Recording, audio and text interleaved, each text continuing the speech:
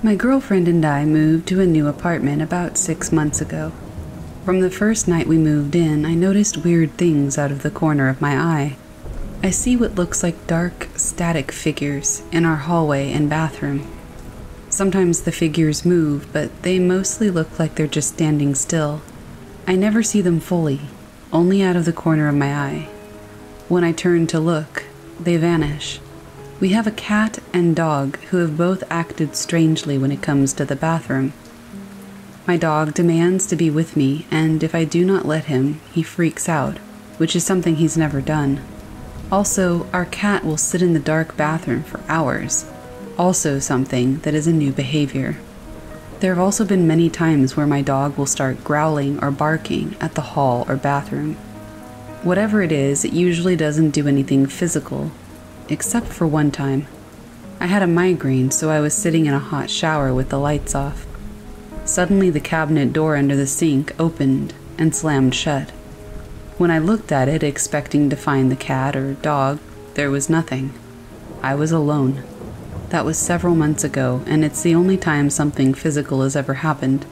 I told my girlfriend about it, and she agreed the apartment has a weird vibe, but she hasn't seen the figures. I'm just curious if anyone else has experienced this. I feel like the stress is just maybe making me crazy or something. Maybe not.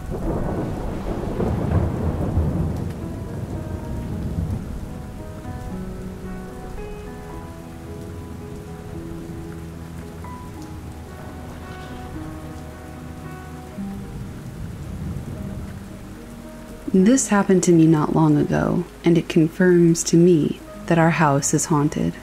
We have had some questionable experiences living here, but this, to me, is a no brainer. I was walking through the hallway and down the stairs to get to the kitchen, empty thermos in hand, acquiring some water for my girlfriend and myself. When I got to the kitchen, I heard someone coming down the stairs behind me. Knowing people were home, I thought nothing of it. I continued toward the sink, but I turned around just to see who it was. When I got to the sink and had turned all the way around, prominent footsteps faced me and stopped at the bottom of the stairs. There was nobody there. I stood there for a second, wondering if something would appear or walk back up the stairs or something. But nothing. So I filled up the bottle and went back upstairs. And as it turns out, nobody had been up. Let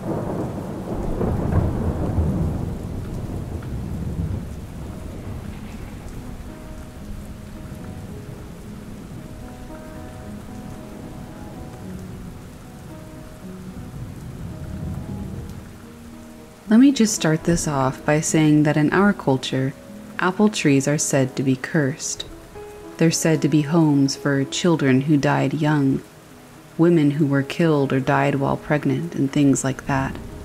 It is said that if you pick an apple or a leaf off the tree, you're going to have bad luck or even die. My half sister lives in an old village in Bosnia, and many deaths happened there so it would be no surprise that elders said the trees were cursed and that the kids shouldn't eat the apples that were on them. Apparently, in the 30s, a pregnant woman died of blood loss while giving birth underneath that tree, the one that's in front of my half sister's house. It was common for women to give birth under trees in that village, and it's not a myth because her grave can actually be found in the graveyard, and some of her family members are still alive to confirm it. Anyway, my niece and I, as the foolish kids we were, shook the tree one day until a bunch of apples fell down. We put them in a bucket and ate a couple, and threw the rest into a lake near my half sister's house, just for fun. Around one month later, I came back to the village for my half brother's wedding and saw that the tree was gone. I asked my sister about this, but all she said was, There never was a tree there. Everybody knew about this tree. Everybody talked about this tree. But now everybody's acting like it never was there. I am legit so creeped out.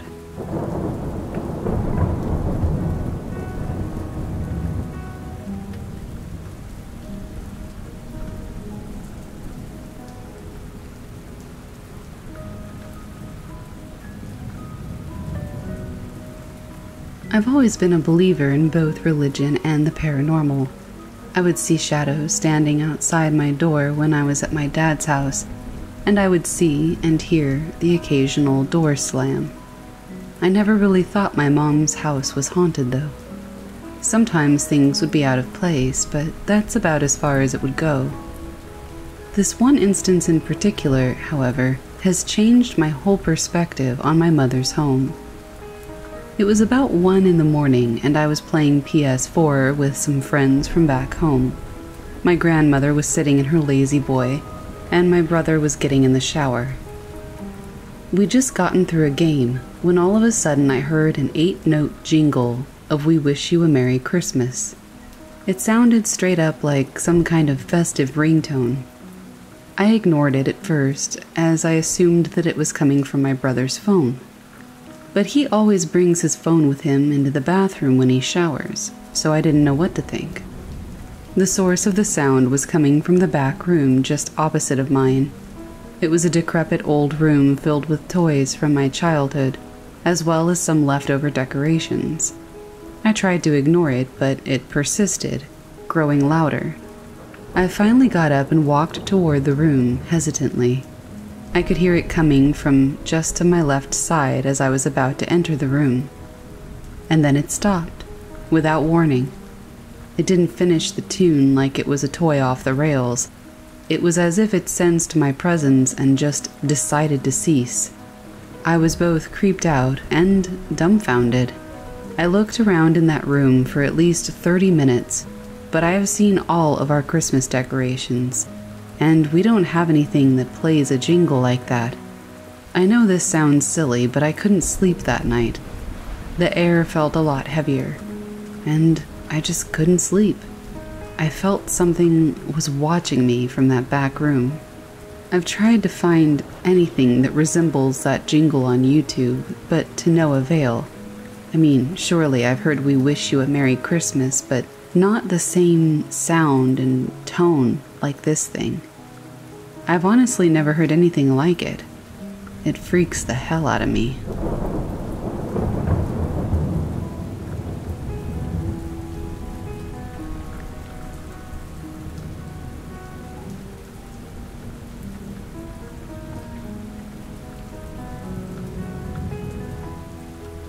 So I finally talked my friend into moving from Seattle to Texas. We decided to split it into two parts. The first one last week, moving her stuff in a rented SUV. Since we both had some time, we decided to take the trip on all the back roads. We stayed at a mineral springs resort in the middle of nowhere of Oregon, and that was amazing. On the second day, we got up to drive to Vegas.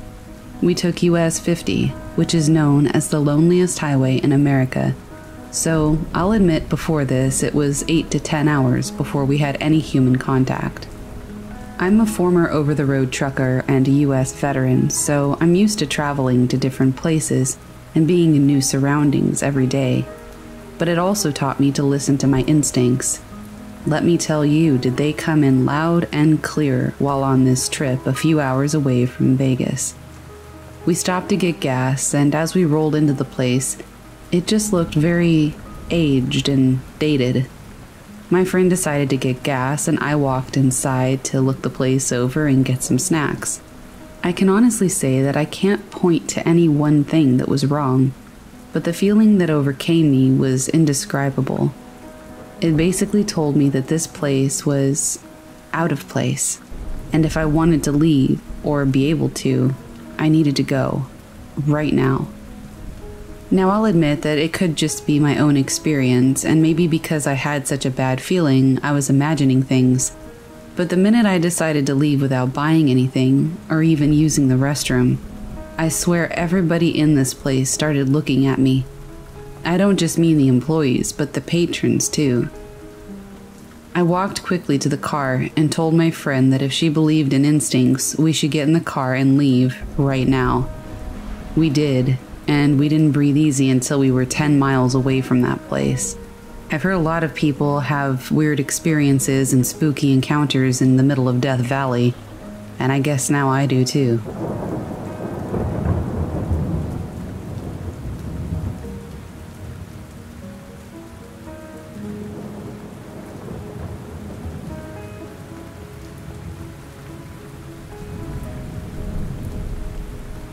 This happened when living in Indian Springs across from the base.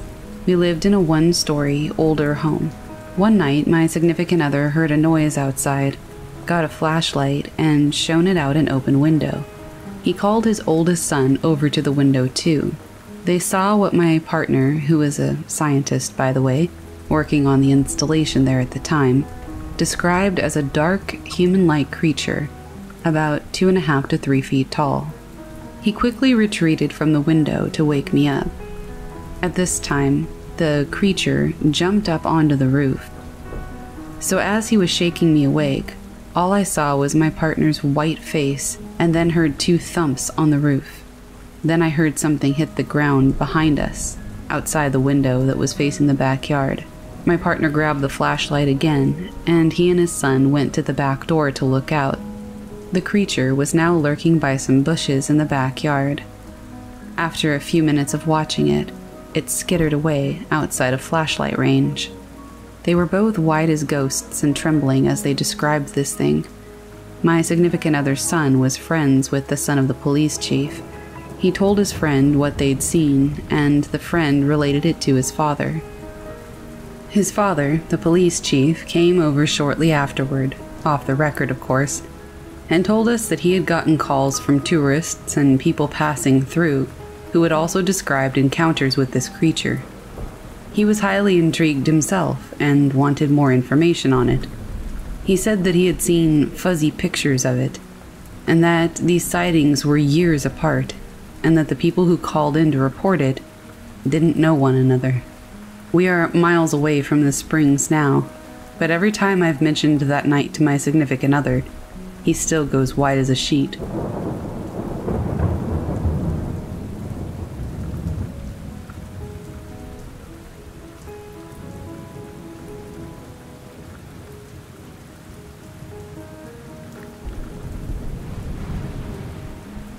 My great great grandpa swore that the devil appeared to him in a Mexican desert when he was a young man. Some time ago, my grandpa was telling me this story that he had once heard from his own grandfather when he was a boy. My great great grandpa lived in Mexico and worked in agriculture. One day he was out in the fields, sitting down under a tree, kind of grumbling and feeling sorry for himself. He wished that he was a rich man so that he would never have to work so hard again in his life. While he sat there daydreaming about how much better his life could be if he had money, this man literally just appeared out of nowhere. He was dressed in cowboy garb with leather chaps and everything, and dangling from his entire body were gold coins that jingled with every slight movement. The strange man also had money pouring from his palms he held it out to my great great grandpa and said, Timoteo, do you want to be rich? My great great grandpa, realizing that this had to be some sort of trick, tried to figure out what to do next. He knew there had to be a catch. No one would walk around wearing money, handing it out for free. He panicked and went to fetch his horse. But when he turned back around just a few seconds later, the cowboy dude had vanished. It was like he blinked and the guy was gone. My great great grandpa rode home like crazy and locked himself in the house the rest of the day, convinced that Satan himself had just shown up and tried to tempt him into sin and damnation. Apparently, he was very insistent that he hadn't just dreamt it or imagined the whole thing. My grandpa still tells this story without the slightest hint of humor. It's like he totally believed what his grandpa had told him so many years ago. I guess I'll never know for sure, but I always wonder.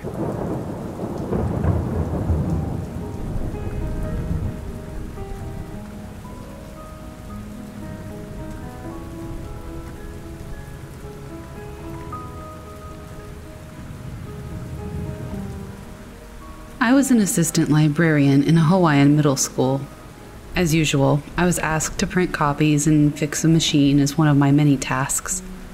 Every machine I walked next to, in more than one room, made a loud electronic hum when I was near, or a beep, which was odd but not unsettling. It only made me slightly curious. The broken machine worked just fine, and people would look at me strangely when I said that. The music in the library was always on the AM station. That's right, only classical music was allowed in there. I was cleaning the glass door, and the music went from classical to static for a bit, and then to full on hip hop. The librarian screamed at me, saying, Why did you change the radio station? I was fed up with her always yelling at me, so I finally spoke up for myself and yelled back, You're closer to the radio, you're right next to it. I'm cleaning the glass door. There's no way I could have changed it. We stared at each other with anger like an old Western showdown for a long minute or two. Then the hip hop music went to static and back to classical. We stopped staring at each other then and carried on with our daily duties. The radio didn't malfunction after that. The day continued, and school teachers entered the library asking me how my day was going. Cheerfully and kind of joking, standing with my hands on my hips like a superhero, I said, I'm an electric girl because all the machines were coming to life with noise when I walked by them. That there was a broken machine that only worked for me, and that weird things happened with the radio station. So today, I must have electrical powers, so I am Electric Girl. A little later, the librarian screamed for me, saying that I had a phone call. My sister called me to tell me that her dad had died that day at 12 p.m. We were half sisters, and she just wanted to let me know. When I got off the phone, the librarian yelled at me not to have people call me at work. Mind you, this was the first time that it ever happened. I told her what my sister said and told her maybe that's why the radio station was being weird. She said she didn't care what the reason was, nobody should ever call me there, and that there must have been rain somewhere to mess up the station. It was a sunny and peaceful day all over the island that day. I worked there for three years, and the radio station never did that before. When I arrived at my apartment complex, the elevator acted weird for me too. I stretched my hand out to the button, and it made a weird noise right before I touched it. Then, when I was in the elevator going up, it fell a floor or so and bounced back. I said out loud, Okay, this is enough. Now you're scaring me. You need to stop. The elevator then started to move properly back up to my floor, the fourth floor. Nothing weird happened after that. I think I might have scared my sister's dad's ghost away. I told my half sister and her siblings what happened that day, and they said it sounded like something that their dad would do because he was a prankster. I know my half sister sounded mad. She asked me, why would her dad visit me? I said, I don't know. I thought it was weird too. Why would my sister's dad's ghost visit me? I wasn't even blood related. I wasn't raised by him or with him or near him. I knew I visited him on holidays and just the last week before he died, with lots of people, knowing that he might die soon, hence the visit. He was losing his mind a bit toward the end. My half sister told me that her father told her I had visited, but he told her this days after I had actually visited because he'd only just then figured out who I was. It's also strange that this spirit visited me quickly after his death if not exactly at the time that he died, and stuck around for hours after. So, after writing my personal experience down, I thought, hey, maybe I should see if this ghost reached out to his family. So, I messaged his family members individually on Facebook to see if they had had any paranormal experiences too. Her dad had a shit ton of kids by different ladies. I guess he was one of the first to ask in ancient times for friends with benefits, I guess they were still living their hippy dippy days with free love, even though babies with diapers does not sound free to me. My mom would say, He must be doing something right. Yuck. Then she went on to tell me that she couldn't share a man, so she left. However, she still dragged me to all these shindigs that they would go to. I guess I was a human shield for my mom to feel brave, who knows? Let's just say the holiday gatherings felt a little weird, with all these women and kids there, and the only man there was my half sister's dad. I sensed some jealousy with these fake ass smiles coming from thirsty women. Thirsty for one dude, regardless of the obstacles. They always talked shit about each other to me. Then they told me not to say anything like they thought my mom was a prostitute. So there's no confusion. Whenever I use the word his, I am probably referring to the dead guy, so just keep that in mind. We'll start with his grumpy daughter, my half sister, who worked two jobs 16 hours a day. Not sure if she was just sleep deprived when she experienced this, but she would never admit it. She said the night before her dad died, she saw his face in her bedroom curtain. He was alive in Pukalani when this happened, and she was on the other side of the island in Napili, in her house. Now I introduce to you his widow, a long term groupie. I only say that because I saw her at all the holiday gatherings and never understood the connection until 20 plus years later when she finally married him. He never had kids with her, so I thought maybe just friends? All my sister's dad's groupies passed away from old age, except for one. He snagged the last one alive and put a ring on it when he had one foot in the grave. It's like marrying your caretaker but with benefits. Anyway, she said the night he passed, she had a clear dream of him being with others, happy and joyful. Three days after he died, she could feel the weight of someone sitting on her bed. When she thought of him, a song on the radio about magic came on. He was a magician. And she found a painted rock with an angel on it and thought that it must have been from him. His youngest kids both said that occasionally they had very vivid, almost lucid dreams where their dad was talking to them, giving them advice, telling them how much he loves them, and so on. The youngest daughter is a badass skater chick. I only say that with mad respect because she won a lot of competitions. She said whenever she was trying to make very hard decisions about her life, her dad always tried to protect her by pointing her in the right direction, in her very vivid, almost lucid dreams. Her dad's ghost once told her in a dream to take the offer. He was referring to a plane ticket that her sister had offered her to get away from an abusive ex. Later, the ex told her he was going to get counseling and that he had changed. At the time, she was very torn and wanted to go back to him, believing that he was sorry and that he would go to counseling. Her dad warned her again in a dream and she didn't listen. She left the safety of the women's shelter to see him and got kidnapped. He strangled and beat her almost to death in front of their baby. He put bruises on the baby, too. The ex is sitting in prison now, and she said basically nothing good has ever come from ignoring her dad dreams. And now I finally bring you to his youngest son, Little Bro, who I will always remember as the naked kid running around the house while everyone screamed for him to put clothes on and he giggled. He's grown up now. I shared my experience with him, he said his dad used to have a radio show when he was young and always seemed to be interested in the way that electronics worked, so he became an electrician. So it's kind of ironic what happened to me. He went on to share his story that an old light in his garage where his dad used to hang out turned on and off a lot after he died. He said that he really wanted to dream about his dad, and years later he finally did. In his first dream, his dad was sitting in a chair next to his wife in a room. He asked his dad, What are you doing here? His dad's response, I've always been here.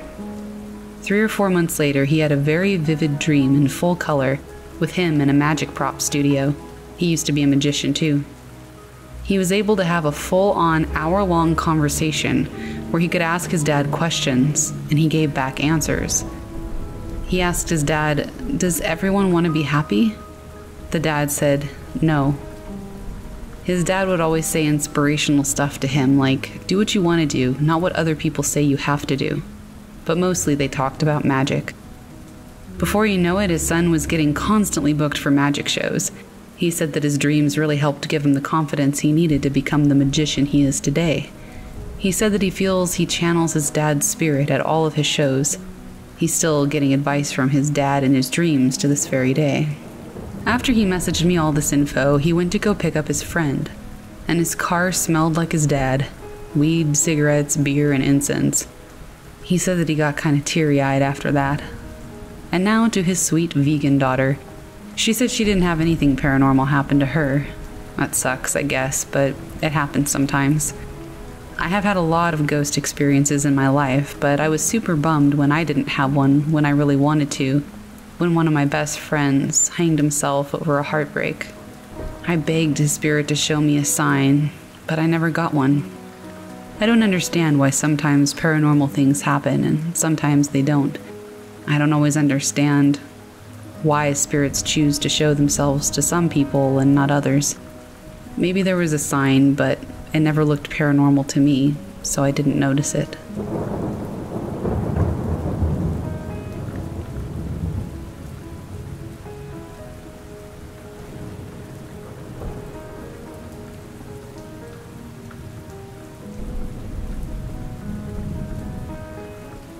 Growing up, I had a ton of weird experiences, but I think this is one of the hardest to explain. It happened when I was about three years old. For context, my mom fell pregnant with me a month after her aunt died in a fatal car crash. When I was born, I would often react to things that nobody else could see, usually with laughter or cute baby noises. Eventually, as I grew older, I had an imaginary friend when I was asked what she looked like or what her personality was like, apparently I described my mom's aunt exactly. Anyway, back to the story. I'm a small child and can't talk properly yet. I'm walking to see my grandma with my mom, which was about 10 to 15 minutes away. We're walking down a small, quiet residential road that has a junction at the end and probably about 30 yards away from the junction. As we start to approach the end of the road, my body language changed and I started to panic.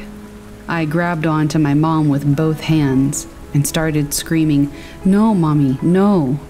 My mom looked ahead and saw nothing, just a quiet residential street.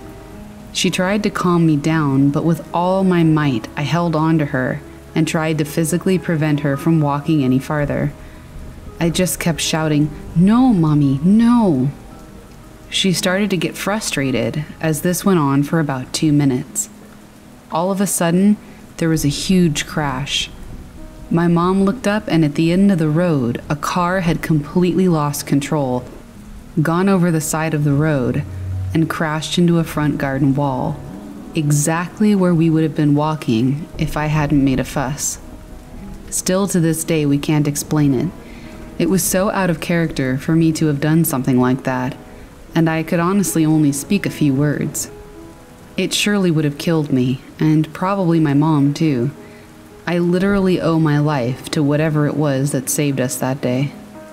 Since then, I occasionally have premonition dreams that turn out to be true.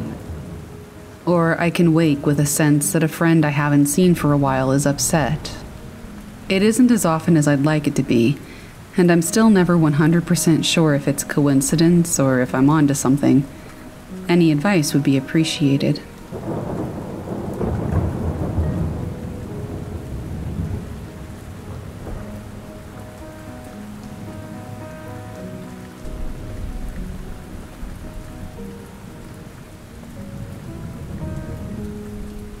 The Fairbanks, Alaska area has an older cemetery, Clay Street, that I was drawn to for a while when I was 18. A boyfriend of the time had family buried there, and we visited to keep the graves clean. Me being the edge lord I was, I took a picture on one of the gravestones. It was the grave of a little girl, and it stuck with me, so I made peace with her by leaving a cute little picture. I often have dreams of this ex boyfriend and that I'm pregnant with a little girl. Not pregnant by him now, just a dream. There are a lot of areas in Fairbanks that give me a nope vibe. The gold dredge out by the Chatanika Lodge. That always gives me a bad vibe, and is said to be haunted. I spent a lot of my childhood in Valdez, and we would always go hang out at the old Pioneer or Chinese cemetery out by Rogue River. Old Town Valdez, the OG Valdez that had to be destroyed because of the 64 earthquake, has a weird vibe too. Valdez often has reports of UFO sightings. I believe I've seen one too. There are satellites that monitor the pipeline, but you can detect the pattern and know what they look like. Unless the pattern in lights changed for a few minutes for some reason on the satellite, and then it was definitely a UFO. There have been reports of alien abductions in the Nome area. One day, I innocently wore my alien shirt out there, and I had to change.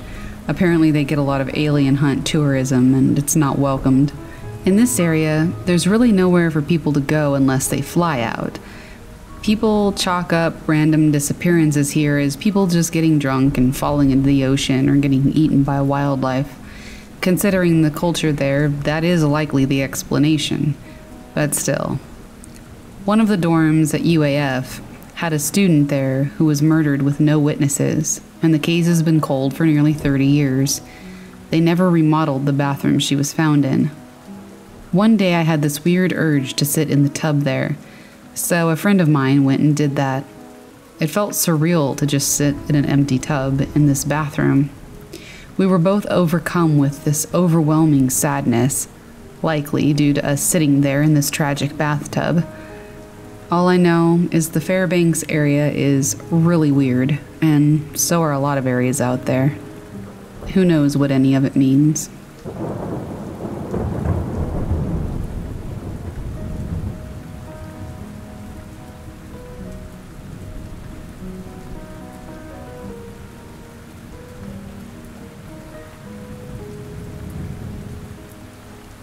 So, this story happened about 20 years ago, you know, before cell phones and fast internet. When I was little, my family used to make a really big deal about Christmas. They made it a goal every year to go and see as many of our relatives as possible.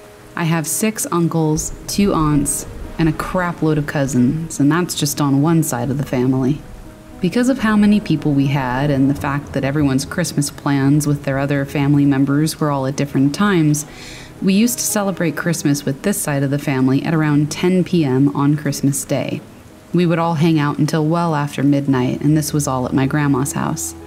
My grandma's house is way out in the country. My grandpa was the pastor of a Baptist church that was conveniently located about a 100 yards in front of their house. Religion was always a big deal, and we would always have church service first and then presents. So, this one Christmas, we were nearing the end of church service, and one of our elderly cousins, who was always there and spent the whole day and night with my grandparents every year, hadn't shown up. Let's call her Betty. Everyone was getting really worried about her. I was 10 at the time, but I could still see the worry in their faces, even though they tried to ease us kids. There was no answer at her house, and like I said, cell phones weren't really a thing back then. Also, to get to this tiny little town, you had to take this long, dark, curvy road way out into the woods, and we knew her eyesight was getting bad. Betty finally shows up, and as she pulls in, we all sigh in relief. But when she gets out of the car, she's white as a ghost. Everyone was trying to figure out what was wrong, but I think she was in shock because she wouldn't talk to anyone. Finally, after some time of resting, she told us that on the way there it had been raining and a man was hitchhiking along this dark stretch of road. After nearly hitting him, she decided to have the Christmas spirit and pick him up against her better judgment because it just wasn't safe for him to be there. She made him sit in the back because she wasn't completely comfortable with the situation.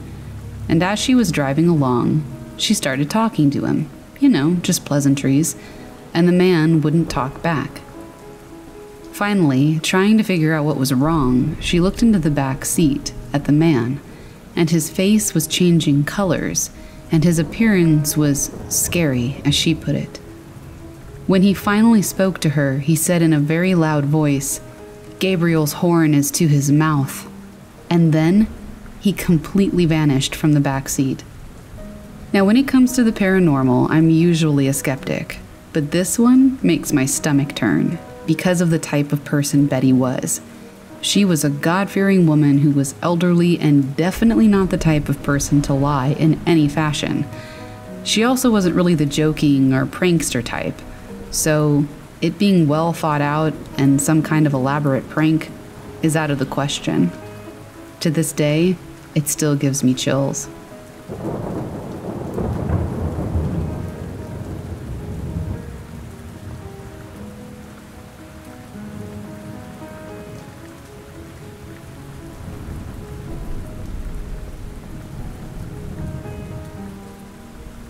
This all started a few months ago. My friend and I found out about skinwalkers, and for a while I just knew that I had one following me. But after a while, everything stopped. But now things have progressively gotten worse. It all started as one night I was talking about creepy things on the phone with a friend of mine. Some things started happening. Lights would flicker, my phone wouldn't charge, the fan would turn on and off, things like that. But there was never an electrical problem in the house. Then the nightmares started.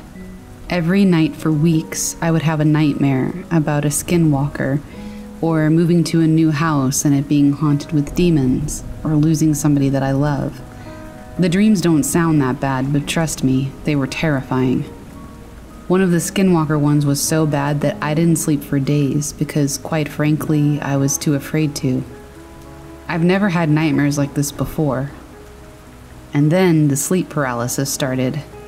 It's always a girl or a monster that stands in the corner and gets closer every time I blink, until it's right on top of me, choking me, and then I snap out of it. It's terrifying, and now every time I'm by myself in the darkness, I have this heavy feeling of being watched. It's so bad that it gives me immediate anxiety. I hear things calling my name out of my window, and it smells like rotting meat. Things scratch the side of the house. It's awful. I can never fall asleep because I'm afraid of what's in store for me when I do. And it's always the same demon in the dreams.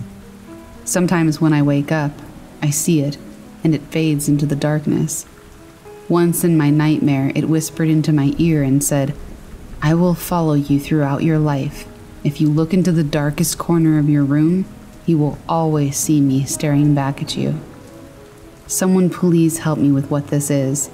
No one will listen, and I think I'm losing my mind.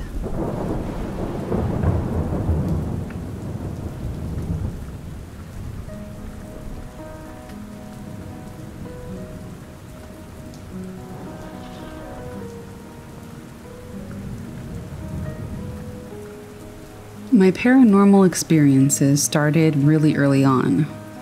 It started with my sister and a group of her friends playing with a Ouija board when we were younger.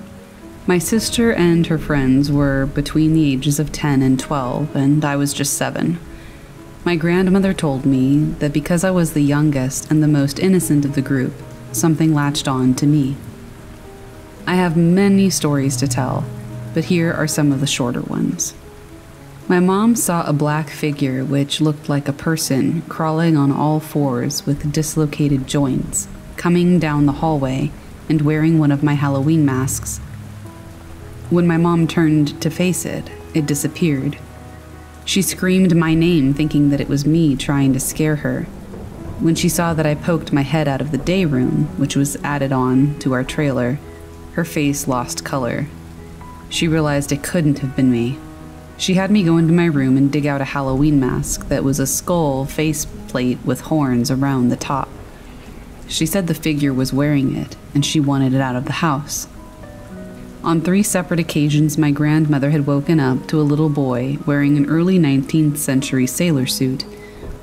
When she looked at him closer, she could see that his skin was pale and that it was dark blue and black around his eyes and lips. Another time, I was playing with my dog by throwing a blanket over my head, and he would pull the blanket off. One time when I was doing this, my dog started to whimper. Before I could take the blanket off to see what was wrong, I heard a deep, raspy male voice breathe heavily in my ear. My dog proceeded to freak out and bark. These are the shorter stories that I have, but my entire life has basically been haunted. Moral of the story don't mess around with Ouija boards.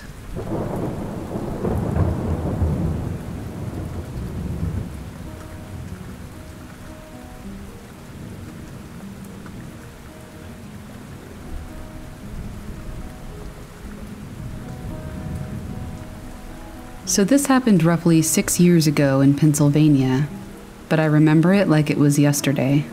I was working for Burger King at the time, and I had just gotten off the night shift at roughly midnight. I was driving home, and I saw a light that was about 50 feet off the ground. It had an orangish glow like a street light. I could see it very clearly. The night sky was clear, and there was no fog at all. I thought it was just a new streetlight that had gotten put up. I just kept staring at it. Out of nowhere, this thing shot straight up in the air and just vanished. It gave me chills and made the hair on the back of my neck stand up. Ever since that day, I've always looked to the sky on my drives home from the job that I have now. I don't know if it was extraterrestrial or what, but It was something.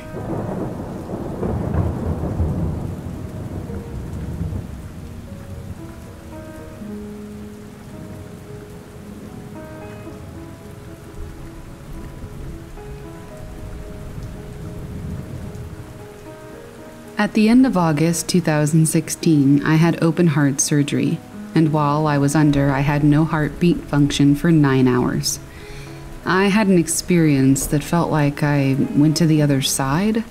I don't know what to call it, but this is what I saw. As a note, there was no fear. I was not afraid at all. I became aware that I was somewhere. I was holding on to, with my right hand, what felt like a piece of cloth. I felt like I was standing on a rock in space, like the dirt or soil or sand under my feet was gray and appeared like what you would see on the moon. To my left was utter pitch black darkness. Directly in front of me, I was holding on to with my right hand what felt like a piece of cloth, like I said, and this cloth was on a much larger thing or being in front of that which obscured my vision. I had to see or look around this being. It looked as though there was a cave or something. It was very dark in that cave and very gray where I was. Out of the cave of the darkness came what I can only describe as a worm like figure as big as I was. It had a purple face and no facial features, just gaseous purple stuff, and it came right towards me, hard and fast. As it got close, it was repelled from me and made a squealing noise and scampered back into the darkness. Another one came out of the darkness and came toward me also. It reflected from what seemed to be some sort of force field around me. It also made a displeased sound and then ran back into the darkness, leaving behind the purple gaseous trailers like tracers. I don't even know how else to describe them. I realize that the thing I'm holding on to is sort of like a Grim Reaper, for lack of a better description, but it wasn't a Grim Reaper. It was different. But it was clothed in the black cloth like material that I was holding on to with my right hand.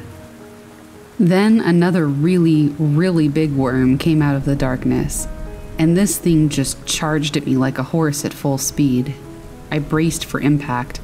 I wasn't afraid, I just braced for the impact I thought was coming. It screamed out as though it felt pain when it got close to touching me. It never actually touched me, it just got really, really close. It too left behind a purple trail as it scampered back into the dark cave that was ahead of this, I guess what we'll call a gatekeeper instead of the Grim Reaper. I look to my left and there's nothing, just a void of darkness. But up and over to my right, I see a cluster of stars or lights. There were pink and blue with yellow, and it looked so inviting. I felt like that's where I wanted to go. I felt my feet lift up off of the thing I was standing on, and it's as though my feet just came up off the ground. My body tilted, and I began to turn toward that light or cluster of lights. I'm still holding on to the cloth, and I can't seem to let go. And as I pretty much decided that I didn't want to come back here anymore, I was happy being where I was, or wherever I was getting ready to go. The gatekeeper thing I was holding on to looked down at me and very condescendingly said, Not today, not your day. At that point, I woke up in the ICU and I was intubated. You're not supposed to wake up intubated, I was told. I was on a fentanyl and morphine drip, so I would not wake up but once I was awake, I couldn't fall back asleep. I stayed like that, conscious, for 25 hours until they finally decided to use propofol to put me back into a coma like thing. They left me there for 30 hours. When I woke up, I was ready to start pulling tubes out. I recovered really quickly, and life is great, and it's been nothing but a journey since then. I guess it was a near death experience, or something weird. I don't really know what it was, but it was interesting, and I thought I'd share.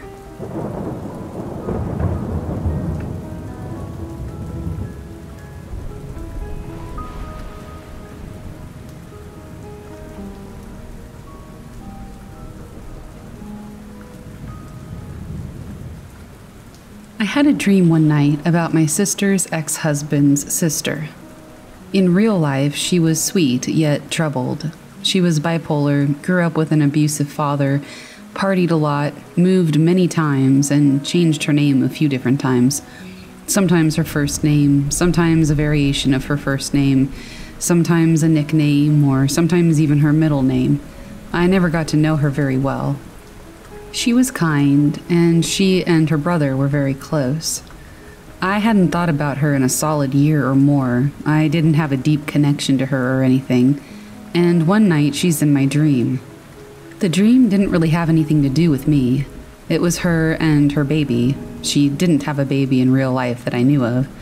And they were so joyful and happy and peaceful together. At one point, her mom was there, being happy and peaceful with them. I can't even explain the premise of the dream, but that's how dreams go, I guess. It was just about her and her baby and them being so happy together. I woke up and thought it was weird, but I didn't think that much of it, as I often have pretty colorful dreams. I check my phone and I have a text from my sister saying that this woman I had just dreamed of had committed suicide the day before. So, of course, I was like, whoa, I just had a dream about her. I told my sister all about it, I made her ask her ex husband if there was any kind of baby involved. To everyone's shock, he told my sister that in her note she had admitted she was pregnant. So, of course, my sister told her ex about my dream, and she said she felt it brought him some comfort, thinking that she and her baby were at peace now from such a conflicted and difficult life. I wasn't really sure why she would come through my psyche as opposed to anyone else's, especially someone who knew her better but I have seen ghosts since I was eight, and I've had a few kind of paranormal or spiritual experiences in my life, so maybe I'm just the one that's most open to that kind of thing. Has anyone else had people that have passed away come through in their dreams? To add to her tragic story, her boyfriend had just been killed in a hit and run accident while he was on the side of the road working on his car about a month prior. The whole thing was just so sad. I know it was a dream, but I like to think she really did find peace. That they both did, and that somewhere they're okay.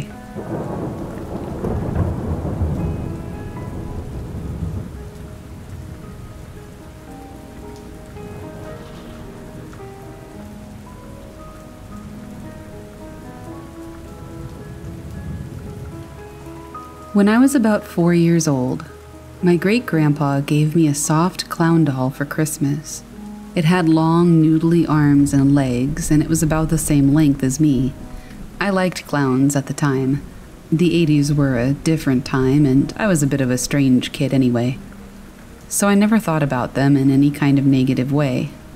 I used to lay it down parallel with me in bed, between me and the wall, and would usually wake up to find it on the floor, as I usually turn over and am generally restless during the night. One morning, I woke up, laying on my left hand side, facing into the room, and my back facing toward the wall. I woke up aware of some movement behind me, out of the corner of my right eye. So I turned my head slowly to see that this thing was sitting up from the waist and had its head turned almost right around, so it was looking down at my face. Its head was flicking slightly from side to side, in the same way that people do when they look at different parts of your face. I didn't understand what was happening, beyond knowing that this wasn't right, so I started to sit up and turn to face it. As I did, its head turned back, and it lowered itself slowly back down to the bed until it was just laid there staring at the ceiling and lifeless again. I know I wasn't pushing it against the wall or moving it in any way.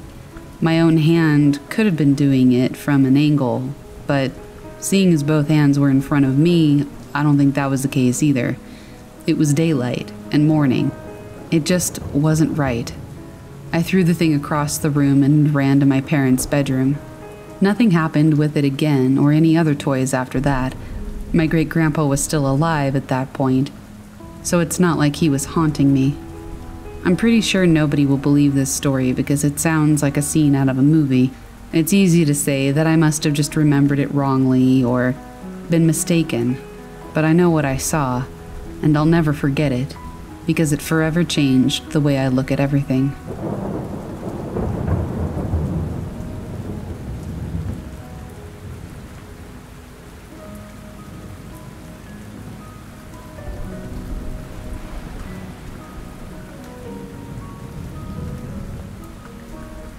Years ago, I worked at a mall. I was assigned the evening shift, so there was never that much action. I would usually come into work and just read a book or call some of my old friends to see how they were doing. The fun of this job all changed eventually. One evening, my manager decided to come in and keep me company. My manager and I developed a close friendship. I was leaning against the counter talking to her, and out of the corner of my eye, I saw a black shadow man dash right by me, heading to the back of the store. The back of the store is locked, so nobody can gain entrance or exit through that way. I asked my manager if she saw it, and she did not. I searched the whole store to find nobody and nothing weird. I just thought my mind was playing tricks on me. Another night, I was working by myself when I heard a loud bang. The store I worked in was one of those mystery room games where people would solve clues to break out, like an escape room. One of the themes of the room was special ops, so the loud bang was from a military helmet prop. I realize that some things may fall, but this object was tightly secured on a shelf. Plus, military helmets are not the lightest of objects. It's not like they get blown off. Another night when I was working there alone, I was reading a book by my favorite author, Stephen King. I believe the book was It. Very faintly, I heard my name called, Again, I looked all through the store and nobody was there. I thought I was just a crazy person. About an hour later, I felt a hand on my shoulder, and the hand exerted some force. This freaked me out. I closed the store about an hour early and went home. All the activity got quiet for a few months, and I started working the morning shifts. My manager asked me to come in early so I could reset some of the rooms from the previous night. About 30 minutes into my shift, I get a phone call from a strange but normal looking number. I picked up the phone, and all I heard was static for a while. Very faintly, I could hear a man talking. Then, all of a sudden, I heard what sounded like a robot, like in the movies, say my name and hang up. I legit thought I was losing my mind at this point. On my last day of work before leaving for university, I was saying goodbye to my coworker. She just casually mentions how lucky I am to leave this spooky place. I felt relieved because she shared similar stories to mine. About a year after I quit, somebody on a forum page asked if anybody had had experiences at this particular mall. I told them some of the same stories I just told you, and it turns out a lot of people there had weird experiences.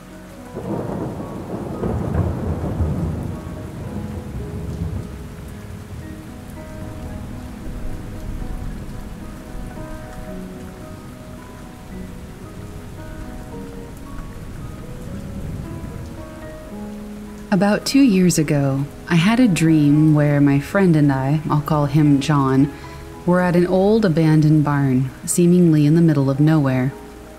We were on the outside of the barn just talking when dusk started to settle in. I told John that I had to be going or I would be late. I started down the path that led around the barn to wherever I knew I had to be going. I remember that it was just a simple dirt path with a simple wooden fence running along the left hand side of it, leading into a wood line about a 100 to 200 yards away. As I turned the path around the barn, I look up and I notice a humanoid figure in the middle of the path, about 20 yards away. Naturally, I was startled, so I turned to John. For some reason, he had been following me, and I hadn't really questioned it. I asked if he saw it too, but as soon as I opened my mouth to ask, he was gone. I turned back, and the figure stood in the same spot.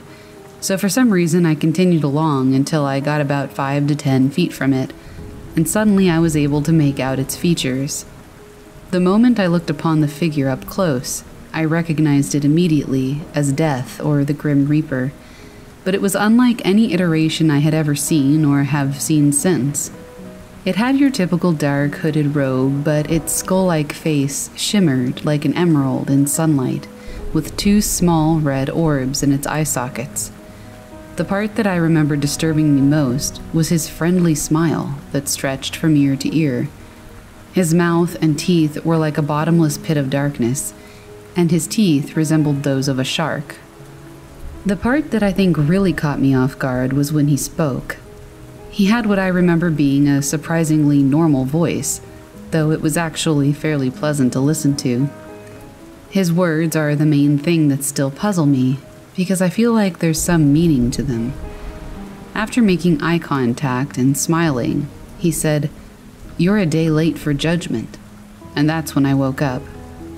It's the only dream in my life that I remembered that vividly when I woke up, and the only dream or thought that I've ever been absolutely compelled to write down. I still carry that page folded up in my wallet. Can't really explain why. Does anyone have any theories on what this might mean, if anything?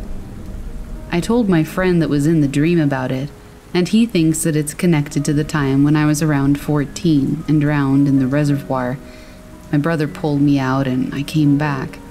The last thing I remember from drowning was letting go and a peace coming over me before I blacked out, and then nothingness before I awoke on the boat with my brother over me. My brother estimated I'd been underwater for at least a few minutes before he had managed to get to me. Maybe I was supposed to have died then and I didn't. Maybe that's why I'm late for judgment. Whatever the reason, I'm very interested to hear what anyone else thinks this might be.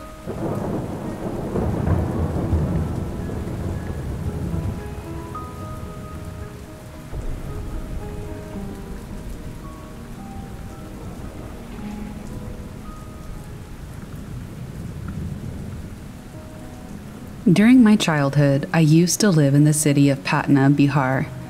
We used to live in a joint family. Back in 2006, my cousin's sister, I'll call her S, had relocated to Bangalore to attend her engineering college. S was always cheerful, respectful, and courteous. None of us could ever have imagined what was about to happen to her. One day, the doorbell rang and I went to open the door. When I opened it, I saw that S was standing there with a solemn look on her face. Our family ushered her in and asked her about her trip home, about 1,500 kilometers. She said that she had no recollection of the trip. We later found out that she had taken a flight home, although she claimed to have no idea she had done so. The next six months are as easy to recount as they were painful to live through. S started exhibiting signs of depression, although some in the family felt that there was something more sinister going on. She wouldn't talk to anyone, she wouldn't eat properly. At times, she would start burning up with a fever and scream for it to stop. At night, she would start laughing maniacally, or sometimes wail and tear her hair out. If someone tried to console her, she'd outpour a filthy barrage of abuses in this gruff, animalistic voice. Since my other sister is a psychiatrist, she promptly diagnosed her with depression stemming from low self esteem while in college and started a course of medication. The medication was administered to her regularly for six months, but her condition never improved. My maternal aunt and uncle had reached a breaking point, and they decided to seek the help of a master tantric, an occult practitioner and honestly, they would have done just about anything to get their daughter back. The tantric in question was supposed to be extremely clairvoyant and adept at the occult sciences. When he entered our home, S began to scream and wail at the mere sight of him. The tantric just stared at her for a while, and then told us he would be going home to perform the exorcism ritual, and we should ensure that S didn't leave the house during that time. After exactly three hours, S again started to scream, although this time she tried to run out of the house. It took four or five of the biggest guys in our family to pin her down to the bed so she wouldn't run out. She still tried jumping out of the window. Her screaming brought the entire neighborhood out, who gathered around the house to watch the spectacle. After about an hour, she fell completely silent and slept like a baby for six hours. When she woke up, she calmly asked us what she was doing in her home and why she wasn't at the college hostel where she was supposed to be. She had turned completely normal, except that she had no memory of the last six months. My maternal uncle and aunt met the tantric and asked him what had happened to their daughter. The tantric nonchalantly replied that somebody had put a lower class of Muslim spirit called a jinn on her. He said that the spirit was induced inside her through first attaching the spirit to a hair, which was then mixed in biryani, a traditional Muslim rice dish, and fed to her. He also told them he knew the identity of the person who did it, but he wasn't allowed to reveal it to them. My uncle then went home and carefully asked S about the last thing she remembered from college without giving her any information about what the tantric had said. She told them that she had this Muslim friend who was in love with her and had proposed to her a few months ago. She wasn't interested in him and politely refused his advances. The guy begged her to remain friends, and she agreed. She said her very last memory was the day of Eid when the Muslim guy had invited her for lunch and served her biryani. She couldn't recollect anything after that. My aunt refused to let her go back to college after that. She continued her education in a local college and later moved to the US and is living a normal life. We do avoid any mention of what happened to her, though. Sometimes it triggers pretty bad memories.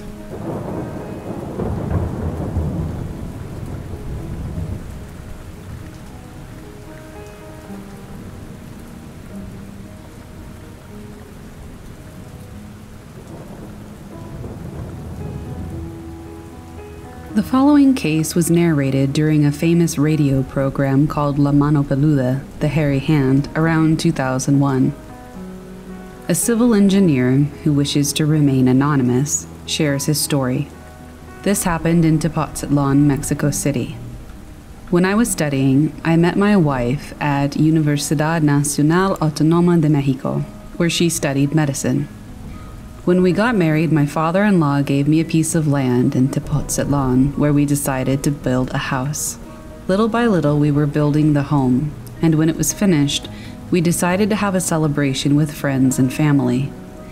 The party transcended without eventualities. However, when everyone had retired, at dawn we heard strange noises inside the house, like laments, dragging chains, strong blows, etc. This worried my wife a lot, and as a strong believer, she prayed for protection. I used to be kind of skeptical of these things, and I didn't give it any importance, always trying to find a logical explanation. On one occasion, I went to work, and my wife called me on my cell phone, asking me about a pair of mining boots that she found near the basement. I usually wear this type of footwear due to my work in construction but it seemed strange to me since I only had one pair and I was wearing them at work at the time she called.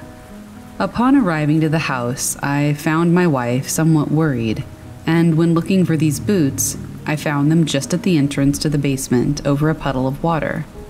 None of this had a reason to exist, since the boots were not mine and there was no water leak that could justify the large puddle that was there.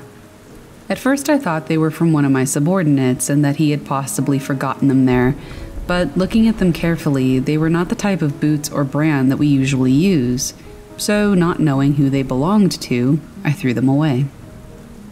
After that day, the wailing and the noises became louder and louder until the point that I got used to them. However, my wife spent terrible, horrified nights praying. For this reason, I decided to buy a firearm, a 45 pistol, for anything that came along. On one occasion, we went to my nephew's christening and returned to the house late at night. But since we were already tired, we went to bed to go to sleep. The main bedroom is located on the second floor, and to get there, there's a wooden staircase that creaks when you step. In the early morning, the creaking woke me up, and I got very nervous. Then the creaking stopped, I prepared my weapon, thinking that it was a thief, and suddenly, someone started punching on the door as if it wanted to break it down, giving me the impression that this intruder had enormous strength. At this point, my wife woke up abruptly, and I, with weapon in hand, instructed her to lock it as soon as I left to confront the stranger. I opened the door suddenly and clearly saw a man descending the stairs in a hurry when he saw that I was armed. I emptied the gun, hitting him more than five times in the back, and I watched him roll down the stairs. Call the police, I yelled to my wife. Then I ran to turn on the stair light. But to my surprise, there was no one. Instead, what sat there on the stairs were those boots that I had thrown away months ago, but this time over a pool of blood. My wife was so scared that she called a priest to bless the house.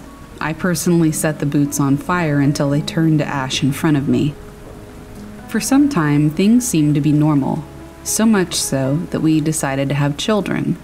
And to make my wife feel calmer, we took one of her uncles into the home. Her uncle was an old man who, due to an accident at work, had been disabled, but his company made her feel good. Everything was going along well, so I dared to work out of state without concern. More than three months had passed since the last incident. It was already dark when I returned home after a work trip. My assistant and another trusted employee were with me.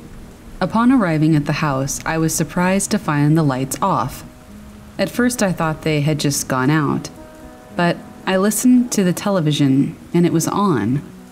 I moved over to the living room to see what was happening. I found my wife's uncle out of his chair. He was dead, and immediately I was alarmed. I began to scream for my wife. I finally found her, hidden to one side of the dining room, sitting in a large pool of blood, sobbing uncontrollably. Thinking someone had hurt her, I called emergency services. The paramedics immediately took my wife away, confirming that she was fine, but that she had lost her baby. Upon checking the uncle, they just confirmed his death. They said that it was due to cardiac arrest, but his face reflected absolute terror. Had it not been for my assistant and the other worker accompanying me and serving as witness, the police probably would have accused me of harming my wife and killing her uncle, as they found nothing that suggested the entry was forced. There was no evidence of a stranger in our home. My wife spent three weeks in intensive care until she finally began to show improvement. When she woke up, due to the trauma, she had lost her memory. She doesn't even remember me. I have taken her to psychiatrists. Even with hypnosis, We've tried to make her remember. But as soon as she begins to relive what happened, she becomes completely hysterical. She'll just say, Here it comes. Here comes the one who will harm us. Take care of him. We've never been able to find out who he is, what he is, or what he wants. Due to the state of her health, I was forced to confine her to a psychiatric hospital in Guadalajara City. I visit whenever possible, although she doesn't remember me. She believes that I am a friend. After everything was over, I returned to the house, and the first thing I saw when I opened the door were those damned boots in a pool of blood next to the basement. Since then, I haven't returned to the house, which is, to date, uninhabited, as it has been completely impossible for me to sell it.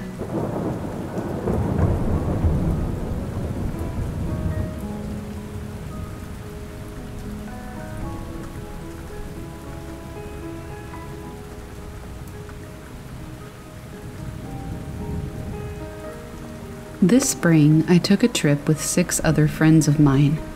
Throughout this trip, all of us except for one kept having strong feelings that we were missing a person when we weren't. A few examples that I can remember. We would have the cars packed up and ready to go, but nobody was leaving because we thought we were missing someone, like they were in the bathroom or at the campsite. But then we would realize that everyone was present. A different night, we were sitting by the fire Six of us were around the fire, and one person was at the picnic table, maybe 10 feet away, so I was fully aware of where they were. When I suddenly got a strong feeling that someone was missing. But I physically counted how many people we had, and all seven were present. Lastly, we had dealt a round of cards. All seven of us were sitting at this table, but we didn't start the game because we were waiting for someone. Until somebody finally said something like, Oh, everyone's here. I thought we were missing somebody. To which all of us but one said that we had also felt that way. I'm not a super big believer in the paranormal or glitches or anything like that, but this was straight up bizarre. The only somewhat explanation I have is that our friend group does have more than seven of us in it, but we all knew how many were on the trip, I remember specifically feeling that someone was missing. Not a specific person, just an absence that we all felt, even though there wasn't one. I couldn't figure out who it was that I thought wasn't there, and no one else could either. Maybe it was just a weird thing, but it definitely felt strange, and I still don't know what happened.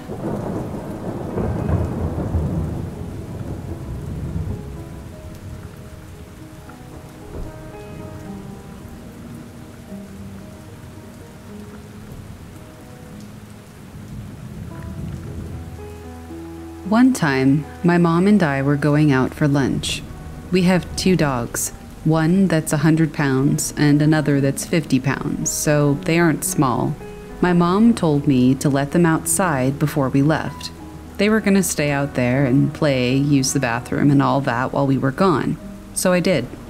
An hour later, we get back, and our dogs are not outside. Okay, I thought maybe I didn't let them out, even though I know I did. We check the house, which is one story and about a thousand square feet, so not huge. Nothing. Well, maybe they are outside and they just aren't coming to us.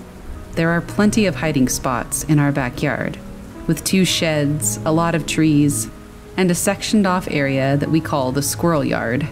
We once had a pet squirrel, but that's another story. The dogs can't get into the squirrel yard, so I go outside searching everywhere for them. Nothing. Well, now we're considering the fact that somehow our dogs got out. So we check the perimeter of our yard. We have a six foot privacy fence, so our dogs cannot jump it. But they have been known to dig holes under it. Here's the thing no holes. None. Absolutely no way that they could have squeezed under that fence. So now we're thinking somebody stole our dogs. Our 100 pound dog looks like a pit bull mix, so it would make sense that they would get stolen because of dog fights and stuff like that. And maybe they took the 50 pound one for similar reasons. But the thing is, they would have had to climb the privacy fence because the fence is padlocked, and the locks were still in place. And even if they did that, how would they get these dogs over the fence? The short answer nobody could do that. So we nixed that idea and turned to checking our house locks. Maybe they came inside. Nah, everything was locked, even the windows. Well, maybe the dogs are inside and they're hiding. We checked everywhere under the beds, in the closets, even in rooms that were closed off. Nothing. I go back outside and I end up taking the grate off from our access point to the crawl space. I crawl around under the house they aren't there. Our last bet is to go search the neighborhood, and even though there is logically no way that they could have gotten out, we still go. We leave the house, all the doors locked per usual, and we begin searching. Nothing. An hour later, we come home, dejected, planning our next move. I'm about to go into the crawl space again when I hear my mom shouting for me. There, laying in their beds, sound asleep, were our dogs. No one else has keys to our house. No locks were broken. All windows were shut and locked. There's no logical way for our dogs to have left our property and suddenly reappear. And they were totally fine. One of them is scared of everything, so it would have made sense for him to be freaking out if something had happened, but nope. This took place over the course of three hours, from the time we got home to when they magically reappeared. We still can't figure out how our dogs just disappeared, where they went, or how they got back. I don't know if it's some glitch in the Matrix or what, but we were pretty freaked out.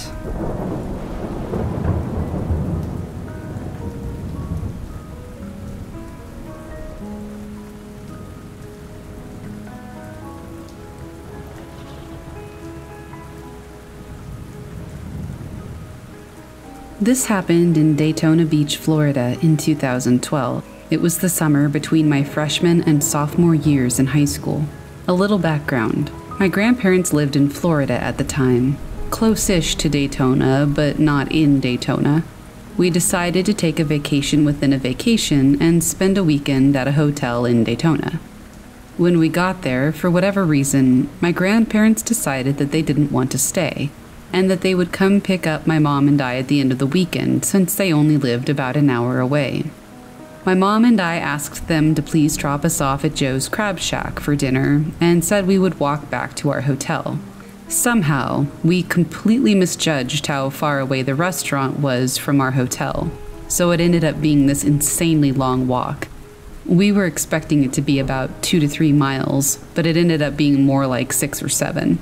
On the way back to the hotel, it got dark on us. There was enough light from the street to be able to see pretty decently, but to get up to the street, we would have to go through an alleyway, and we just didn't feel comfortable with that. So we decided to stay on the beach. Now, I want to say, even though it was dark, there was a full moon and enough light from the street that whenever we passed a person, we could clearly make out their face if we were close enough. So while the dark may have played a small factor in this, I don't think it was enough of a factor to make me just dismiss the experience. So as we're walking, we see a light headed toward us about six ish feet off the ground. We weren't too concerned because it looked like somebody going the opposite direction as us wearing a headlamp, maybe taking a nighttime stroll on the beach. As the light got closer, we noticed that it was extremely steady, not like somebody walking, and especially not like somebody walking on sand. As it got close to us, this is what we saw a cloaked figure wearing a brown monk like cloak with a large hood. It was not walking, but just gliding along. In fact, there were no visible feet. There was a light shining out from under the hood of the cloak, but there was no face. Except for the light, it appeared to be completely black inside, almost like an empty cloak floating through the air without a person inside it. It didn't seem to notice us, and just glided on past. My mom and I remember this event exactly the same way. I'm a very scientific person, but I still can't really explain this, as it was definitely light enough that we should have seen a face and feet, but we didn't. Has anybody else come across something like this? What do you think it was?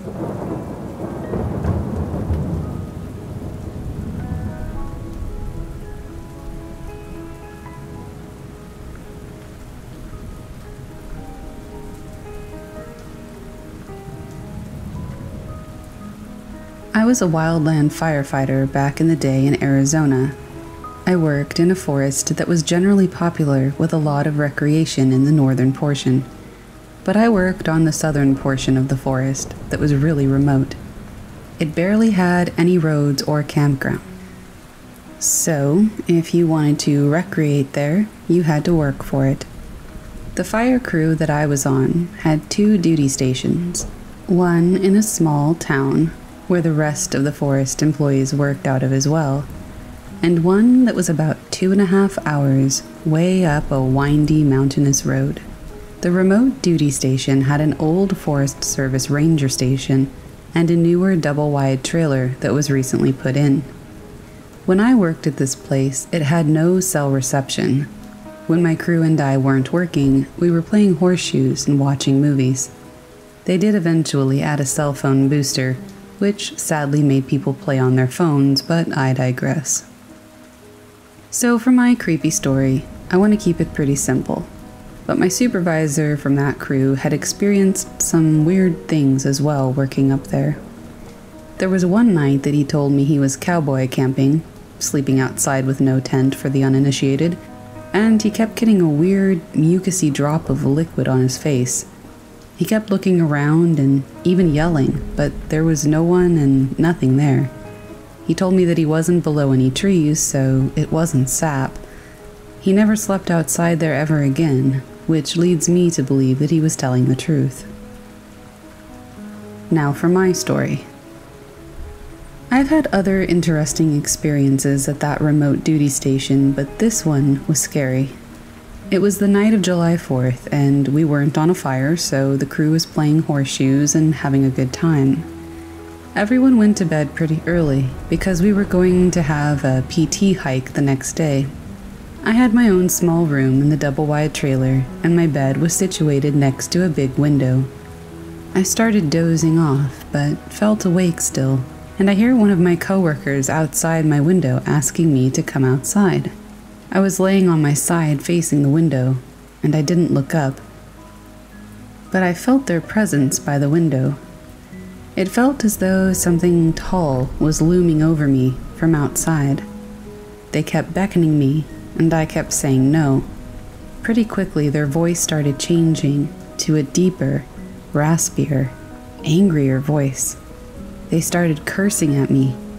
Get the F outside. I was frozen. It was sort of a demonic voice. I lay frozen, not moving, while they continued to yell at me. Eventually, it stopped, and somehow I fell asleep. I woke up the next day, and I wanted to ask my coworker if he was standing outside my window but somehow I knew that he wasn't, and asking the question was just too weird. Perhaps this was a mild form of sleep paralysis, but it was still scary.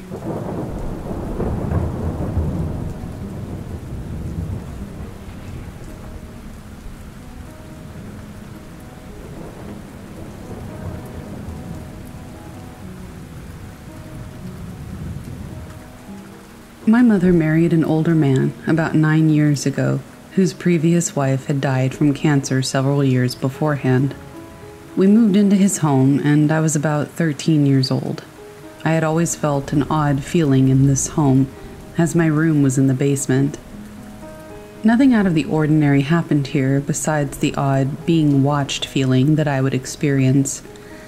My mom has hired my biological father, whom I'm close to, to remodel the downstairs bathroom in my stepdad's home.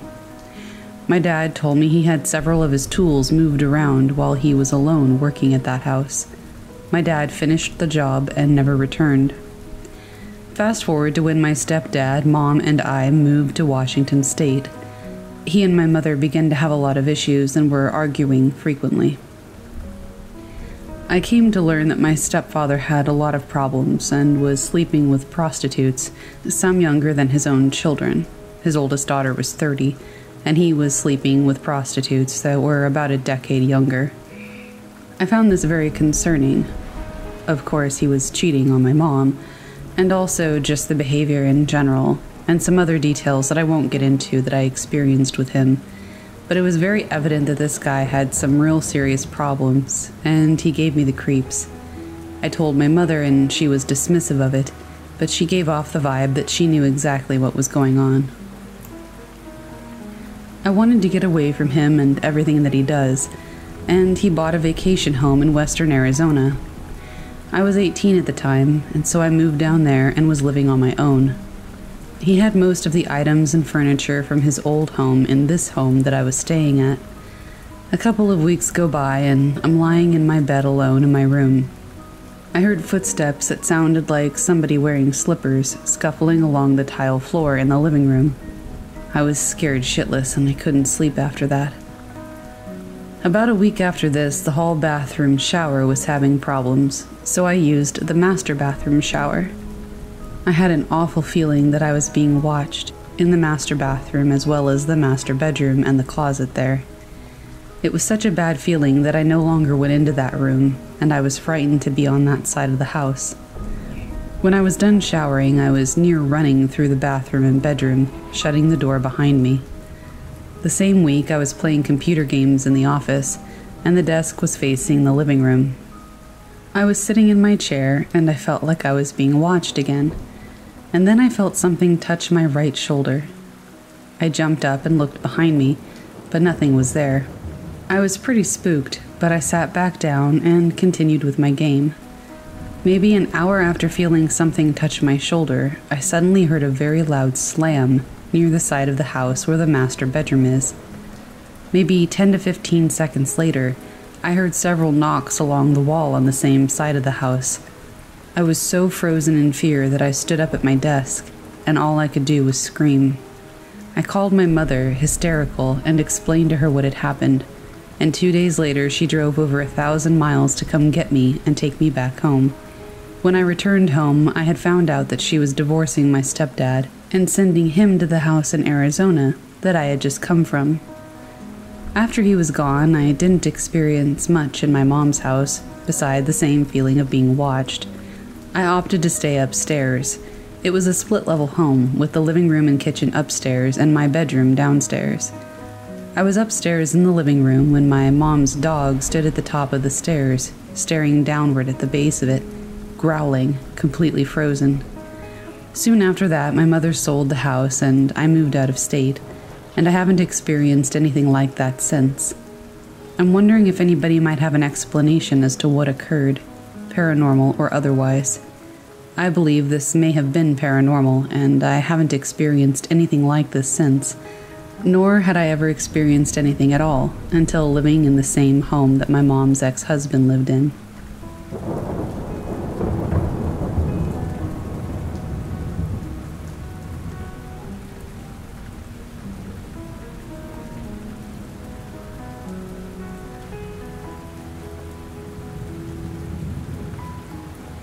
Ever since I was a child, I've gotten random snippets of deja vu these episodes last from a few seconds to a minute. Whenever I have them, though, I always get the sense that what just happened was something I had dreamt about. I don't have particularly vivid dreams often, and I rarely remember the details when they are vivid. The real life occurrences trigger the feelings of deja vu, but when I think about it logically, I know that it's not something I've experienced before, but rather something from a dream or maybe an alternate reality or something that my mind just interprets as a dream. I'm not sure what to make of it, and I've never told anyone else about this.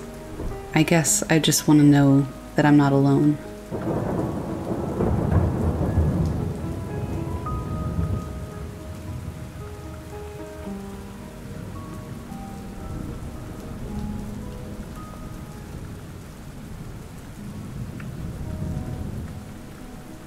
I was about 11, and I was just laying in my bed. But the way my bed was positioned in my room made it so that I could look straight down the hallway, as in the bottom of my bed faced the door, and my head was near a wall. Anyway, I was laying there and I was trying to go to sleep when I heard a door open. So I looked down the hallway, and all I saw was a completely nude woman standing down at the end of the hallway, staring at me. She was kind of a pretty woman. She had long, dark hair, and I could even see her pale blue eyes. She was probably in her late 20s or early 30s. She was moving closer and closer to me. I was already afraid because there was this strange naked woman in my house, but what was even weirder is that her legs weren't moving. They weren't even touching the ground. The weirdest part, though, is that the closer she got to me, the older she looked. By the time she was at my door, she was hunched over, had gray hair that looked like it had never been brushed, wrinkled skin, and all the other features of an old woman that you would expect. As soon as she entered my room, she started screaming at me, which scared me, so I pulled the blankets above my head. I closed my eyes, but when I pulled the blankets off, I didn't see anything. If anyone has ever experienced something like this, or you know what kind of entity this was, please let me know.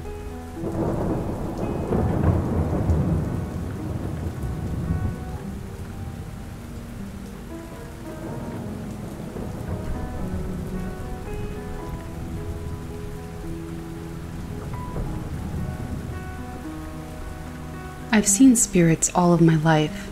I interact with human ones. I've seen the spirits of some of my deceased pets, but last week I saw something different. I work more than one job, but one has a stockroom. It is on land leased from one of several local tribes. It was tribal land for centuries before there was a highway built through the center of it in a mountain pass. In the stock area, we have racks that can be rolled. These are called lundias. About a year ago, I confided in a friend that there were in fact some odd spirits there. My friend asked me if I had seen the ones in the stockroom. He said they were some sort of gremlin like shadows, and that he had seen them at night. I did not see or sense any of them for a long time. When I saw some last week, I remembered his comments. They are odd. They're black, shadowy things. They're different, about two and a half to three feet long. They run in the lundias, low to the ground. A former coworker asked me over two years ago if I had seen them running through the nearby desert. I told her I had never seen anything like them, but I have seen them now. They are hunched over at the spine so their heads are lower than their backs. Their backs are rounded. The vertebrae are fairly well defined. They don't expect to be seen. They're sort of coyote like and sort of dog like, as if they were the victims of some terrible spinal disease. They have dark fur or hair on the spine thinning to bare skin on the bellies. Their legs are bent at the knees like dogs, in the back, and bent at the knees in the front. Their faces are dog like with canine style teeth. I know they have been there for many, many centuries. Some sort of nature spirits, maybe? Either way, I don't plan to bother them at all.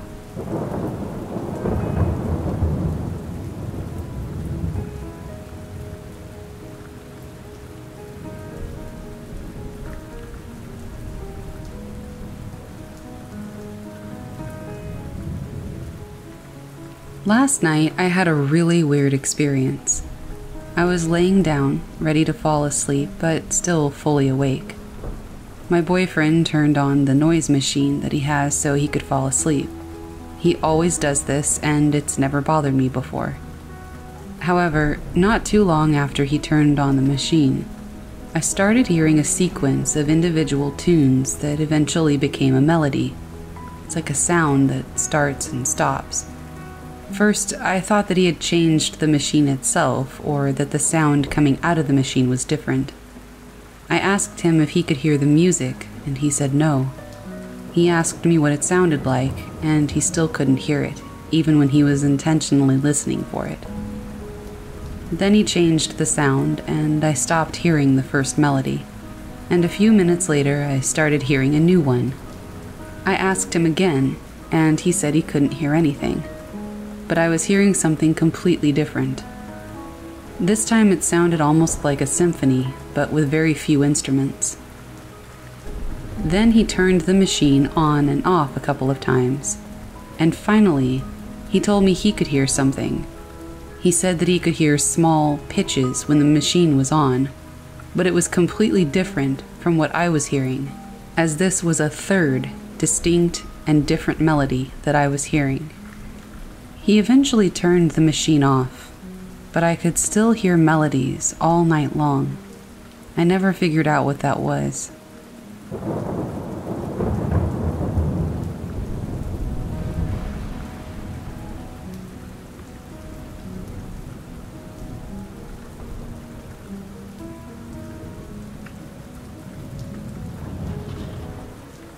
This was not a dream.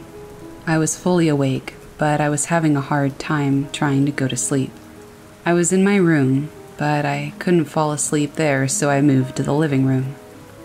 Usually, as I'm trying to go to sleep, I'll let my mind wander on its own, and I always end up thinking of nonsense, like sentences or scenarios that don't mean anything.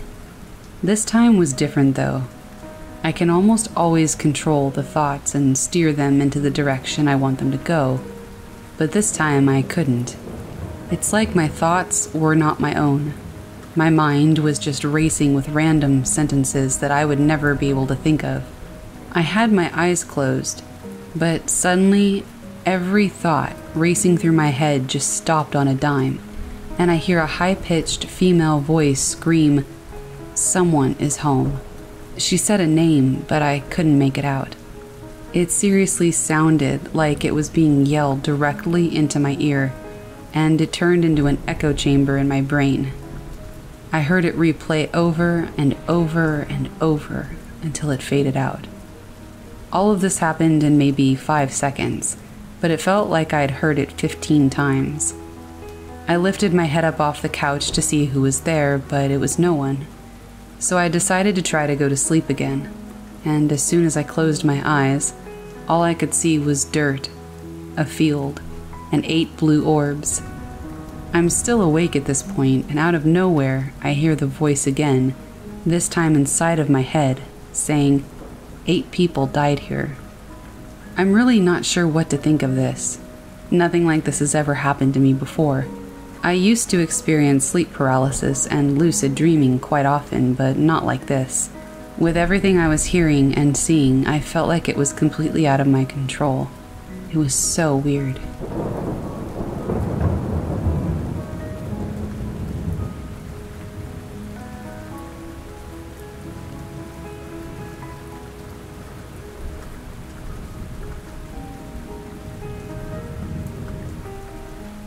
I had a lot of creepy experiences as a child, but I never truly realized how unnatural they were until I got older. The first of many weird experiences was when I was six. This one by far was probably the creepiest and scariest one I can recall. It was your average night. I don't remember anything from earlier that day. I was upstairs in the bathroom having just cleaned up before dinner I opened the door to exit the bathroom into the upstairs hallway. Now, the way my house is laid out is when you exit the bathroom, you come into the small hallway. At the end of the hallway is the door to the attic, and to the right of that is my parents' master bedroom. The minute I look down the hall, I'm about to turn out the bathroom light, and that's when it happened. There was a figure at the end of the hall, in front of the attic door. It was a completely blacked out shadow person, but he looked exactly like my dad. Same height, same build, same everything, just without any discernible features or details. Except for one thing my dad wore glasses. As I'm looking at it, this thing did as well. But the area where the clear lenses would be were completely white. They also had no discernible details except for the shape. I was thinking to myself, why would my father be upstairs? And that's when my blood ran cold, because I could hear my father yelling to my mom from downstairs. She was making dinner in the kitchen. I instantly knew that this wasn't my dad. I wanted to scream, but I couldn't. It was like this thing took control over my whole body the next thing I know, I'm walking back into the bathroom, and I rested my head on the towel rack. The only thing I can remember after that was my mother calling me from downstairs. I am now 20 years old, but I can still remember this horrifying experience vividly to this day. I've always wondered what that thing was and why it looked like my dad.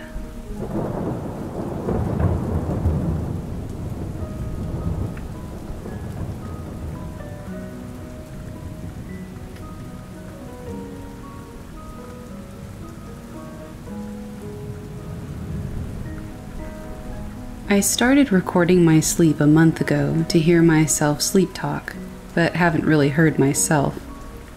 However, yesterday morning I came across a very strange voice clearly saying, "Wake up" at 4:30. It's definitely not me, as I'm a female and the voice is very deep. My partner was in the spare room that night, and you can hear no entrance into the room previous to the recording which you can hear with other recordings on the app where we enter or leave the bedroom, no matter how quiet we are. I have no idea what this could be. Nothing was heard after this, apart from me possibly moving around, and then when I woke up a few hours later. Now I'm scared, especially as we've had some weird things happening in our house. Also, just some answers to some questions or assumptions I know I'll get. My partner pranking me. It could be that. I started using the app as my partner told me that I sleep talk. I hadn't really heard much in the month that I was using it, so I stopped using it for a couple of weeks. Therefore, he had no idea I was recording on this night. My partner is a terrible prankster and always ends up laughing. Even he's a bit freaked out. Me pranking. Definitely not. Like my partner, I'm not good at holding it out. And also, I would probably come up with something a little bit better. Another assumption is that it's my voice, but it's too low to be mine, and it sounds robotic. When I've heard myself sleep talk on this app in the past, it sounds nothing like it. According to Fitbit, at this time I wasn't dreaming, so I couldn't have been sleep talking, although I accept that this isn't exactly the most highly accurate data. It's not a noise coming from outside either, it's too clear.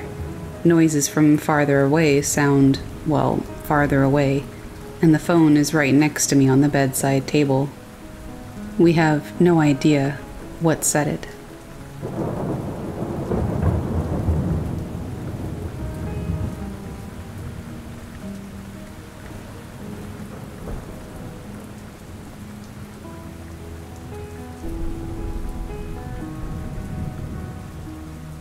I lost my very brilliant, witty, overachieving son to opioids almost five years ago.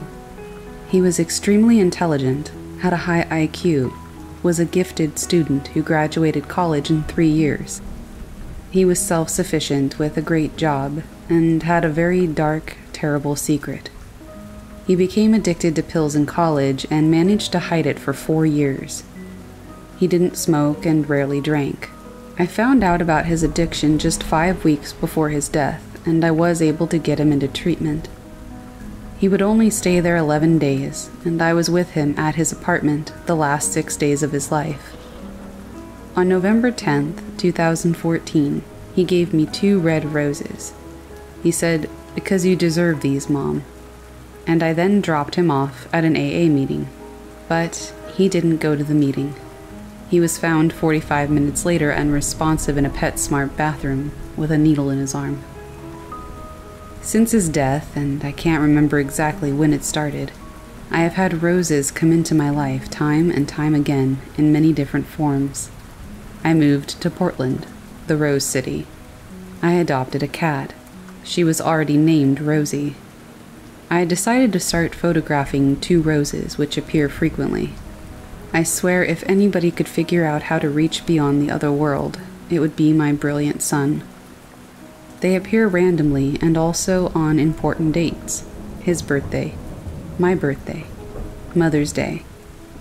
For example, on his birthday in 2016, I was at a thrift store the night before, feeling sad and like a loser, really.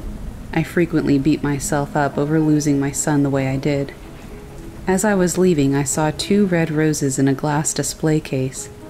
It stopped me in my tracks, and as I looked at it, I saw a little note Pull my pin close to you. It was a music box.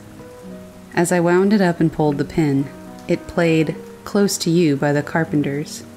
On the day that you were born, the angels got together and decided to create a dream come true. A song about a birthday. Of course, I bought it. I planted a red rose bush for my son when I moved to Portland in 2015. It has struggled and has never really produced much. Last year, in 2018, I noticed that it had two buds. The bush produced two perfect red roses, side by side, that bloomed from Mother's Day to my birthday. It produced no other flowers that year. So odd. My other roses had dozens of blooms. I have countless other signs, sometimes roses, sometimes other unexplained events that leave me wondering. At any rate, this is my story.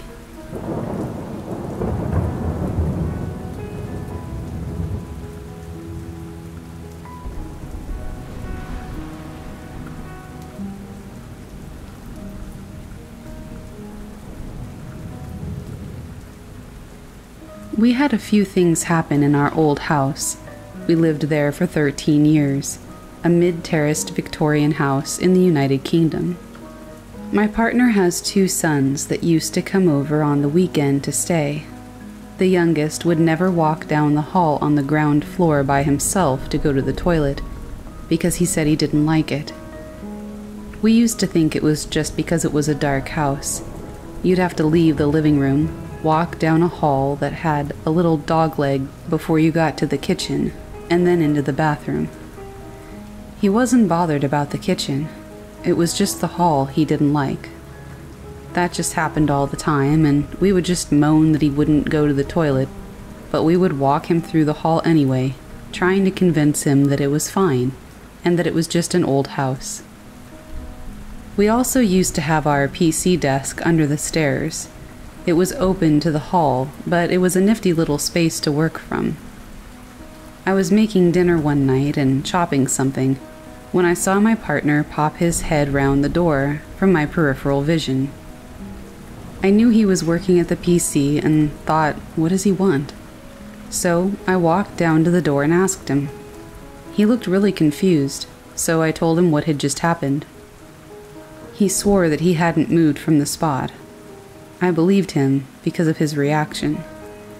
I have no idea who it was, but it was the head and shoulders of a man, and it was so domestic, that's why I was positive it was my partner to start with. A few months later, we were redecorating, and the stairs were boxed in with plywood. We had thought it looked pretty ugly for such an old house, so he pulled it all down.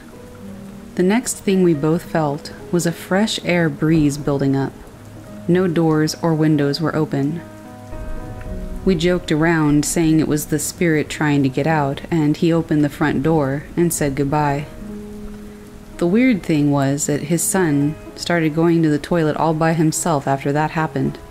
He never said anything else about the hallway and had no issues with it. We're pretty realistic and have a healthy skepticism, but that was a little bit odd. That whole place was a little bit odd.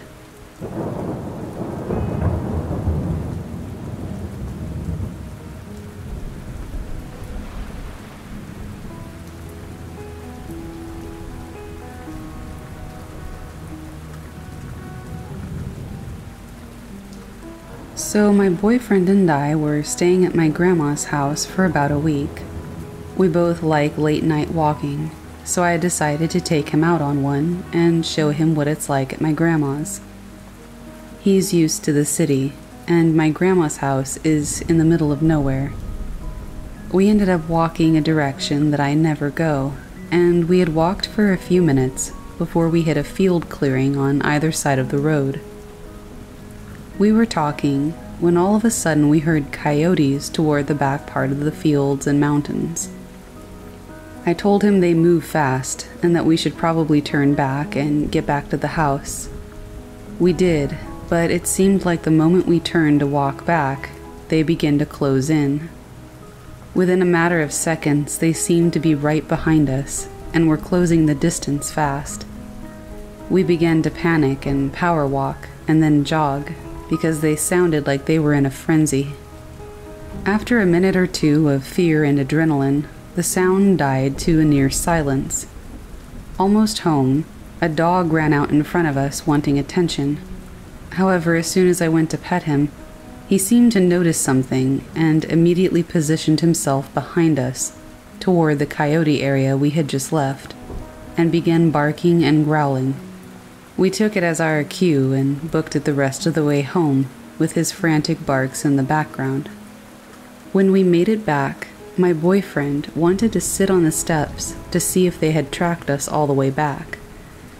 We sat for a moment before everything went silent. All of a sudden, a low, deep growling noise filled the air.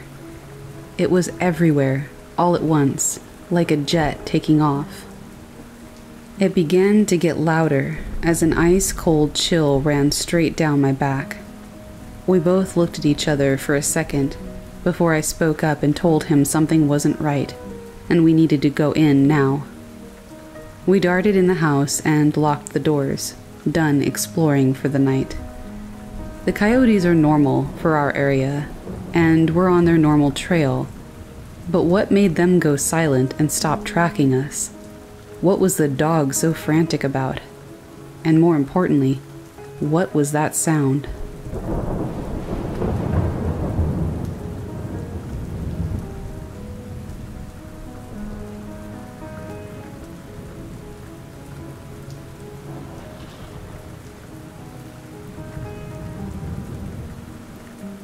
My father's house is a creepy one.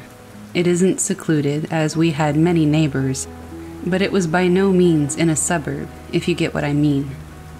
This story is about my father's first experience and also my first experience with the paranormal. My father is a skeptical man when it comes to the paranormal. Skeptical meaning that if something is explainable, he won't bother with it. That fact is what makes everything I'm about to tell you so much more terrifying. As he used to work graveyard shift for the school district in our town, he would sleep during the day. Back when this incident happened, we only had a cheap futon for a couch. The futon had a metal frame with a dingy cover as the cushion portion of it, and the back of the futon, when locked up into a couch, had vertical, hollow bars. He told me that one day, while everyone was away at either work or school, he was having trouble sleeping and was awake for about an hour before being able to fall back asleep.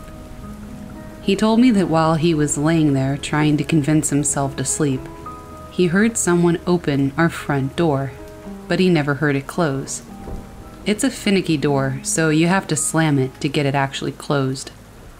Essentially, he would have had to have heard someone close it. He had a reason to believe it was his girlfriend, now ex, coming home from work early for lunch, and he thought nothing of it.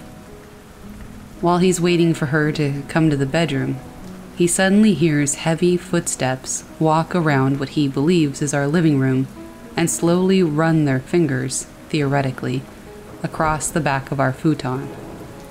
This is where the description earlier comes in. What he thought was fingers ran across the back of the futon. There's a distinct metallic thunk, thunk, thunk when someone does this. It's not mistakable for anything else in the house. It's the only object that could make that sound. He immediately thinks that it's an intruder and rushes into the living room, but no one is there. The door is wide open and nobody's anywhere in the house. I should also mention that we have a deck made of wood that has a flight of stairs leading down to the ground level. Also, the walls are paper thin. You can hear anything from one place in the house to another. I can hear my father sneeze when he's in his room while I'm in the living room. This means that he would have had to have heard, or at least seen, somebody walk out the front door and down the stairs to leave the house, and he did not. This experience had him on edge for months. He tried talking to whatever manifested in the house and taking pictures of it, just to get some sense of closure from that day. As for my encounter, when I was a teenager, my sisters and I would hang out in our bathroom to talk and whatnot. Don't ask why, it was a thing for us for some reason. One particular day, one of my sisters and I were in there talking to each other when we heard somebody sprinting down the hall. It's a very short hallway, so it didn't phase us when it stopped abruptly at the end of the hall. We were on edge, as we thought it was our younger sister and we didn't want to get in trouble. As mentioned, my father worked nights and he would be upset when woken up while sleeping. So I open the door, and as soon as I do, this huge gust of wind hits me in the face. Like, you know, if someone's running past you. I look out into the living room and see my father's now ex sitting on the futon watching television. I asked her where my sister was, and she pointed next to her and motioned that she was sleeping. I asked if she had just heard that running, and she gave me a funny look. As my heart sank, I slowly closed the door and looked at my sister, who was frozen with fear. We both knew what it was and didn't really mention it for a while. We didn't want to make the story feel any more real than it already did.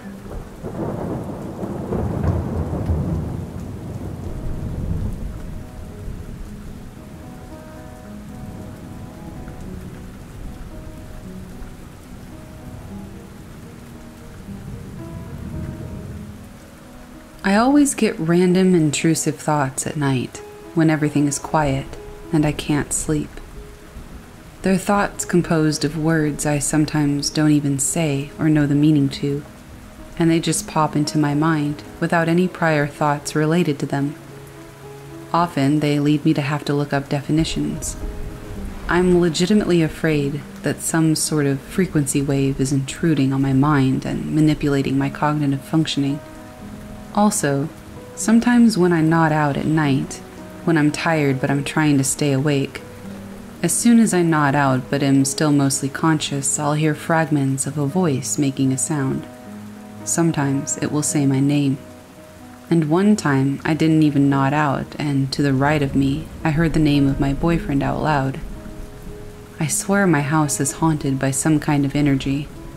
My father died here 11 years ago by killing himself. I was the last one to enter his bedroom where he passed to shut the windows because it was storming heavily outside before leaving to spend the night at my grandmother's house. I was very close to my dad and took after him in many ways, features and all. However, years before he passed, I was very resentful and nothing but mean and nasty to him. Literally minutes before he passed, I gave him a dirty look for no reason. Flash forward 11 years, and I've found myself exactly where he was before he died isolated, depressed, and addicted to opioids.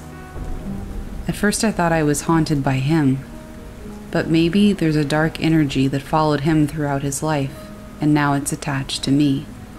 I just feel so haunted here all the time, alone in my mom's basement.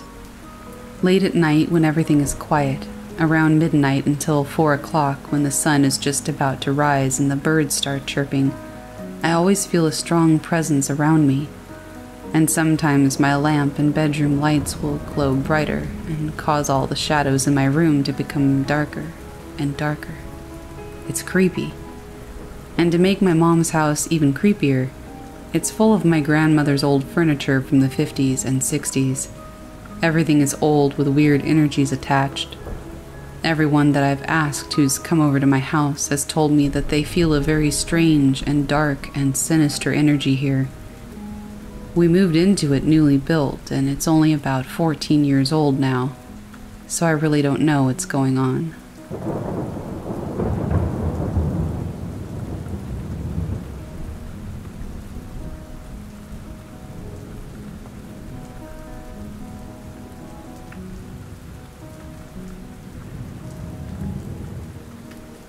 I've always had a belief in the unknown and spirits but I had never really experienced anything from the unknown, other than the typical deja vu we all experience from time to time. And then, high school happened. I have two stories about my own personal experiences. They are true events, even if people are skeptical. I know what I saw, I know what I felt. Believe whatever you want to believe, or believe what will help you sleep at night. But either way, these are true. Before I get into the stories, it's probably worth pointing out that I used to use Ouija boards with one of my friends. Stupid, I know.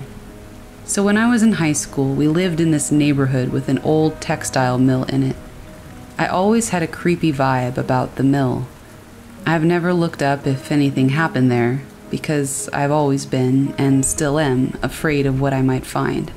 My bus stop used to be in front of the mill and I had to start walking to school because I just couldn't shake the feeling that I was being watched by someone or something at the mill. Now, two things happened after I started walking to school. One, I started seeing a little girl out of the corner of my eye about four or five in the mornings as I was getting ready for school. I was the only one awake at the time, so maybe she just felt comfortable appearing then. I never felt threatened by her, and I don't know her name, but she looked like she was maybe from the 20s. I actually stopped seeing her after a while, which made me kind of sad, even though her presence also sent a shiver down my spine. The second thing that happened was my brother and his friend decided to go in the mill, where, according to them, they found markings where a body was and dried blood. I don't know how true that is because I refuse to go into that place, but I still can't ever shake the feeling that something is watching me, even to this day. In fact, I think it has intensified since my brother and his friend went in there. Apparently, now it's being remodeled and reopened. I hope they cleansed that building of any negative energies and spirits first, but somehow I doubt it. My second story takes place a few years after the incident with the little girl at my Sweet 16. My parents threw me a surprise party with a luau theme. I had a few of my close friends over, some staying overnight. One of my friends, let's call her Kat, needed to go home, so we all decided to walk her home. I mean, she didn't live that far, maybe two or three blocks at most. Well, we get there and we're all hanging out. Kat lived near a cemetery, and another friend who I'll call Sam suggested that we just walk around for a little bit. Now it's maybe 9:30 at night. This cemetery has been known to have fog only in the cemetery. Fog that doesn't affect the area outside of its cobblestone walls. I didn't tell anyone, of course, and we all thought it would be a great idea. So we all hop over the wall, which really isn't that tall, and we just start walking around, looking at who's buried there. In this cemetery, there's an area that has its own fence, and after a while, Sam and I get a little bored and decided we wanted to go inside. So we did. And immediately, she starts feeling sick to her stomach, and we can't figure out why. So we tell everybody still in the cemetery, and we leave. The second we leave, Sam's feeling better. No nausea, no stomach pain, nothing. Then I started feeling nauseous, which freaked me out a little bit. So I convinced everyone to go back to my house because I didn't want to be around that place anymore. We told Kat goodbye and we left. I didn't stop feeling nauseous until we were inside my house. I don't think whatever was in there wanted us there. And I'm glad that all that ever happened to me was a wave of nausea. I assume it could have been a lot worse.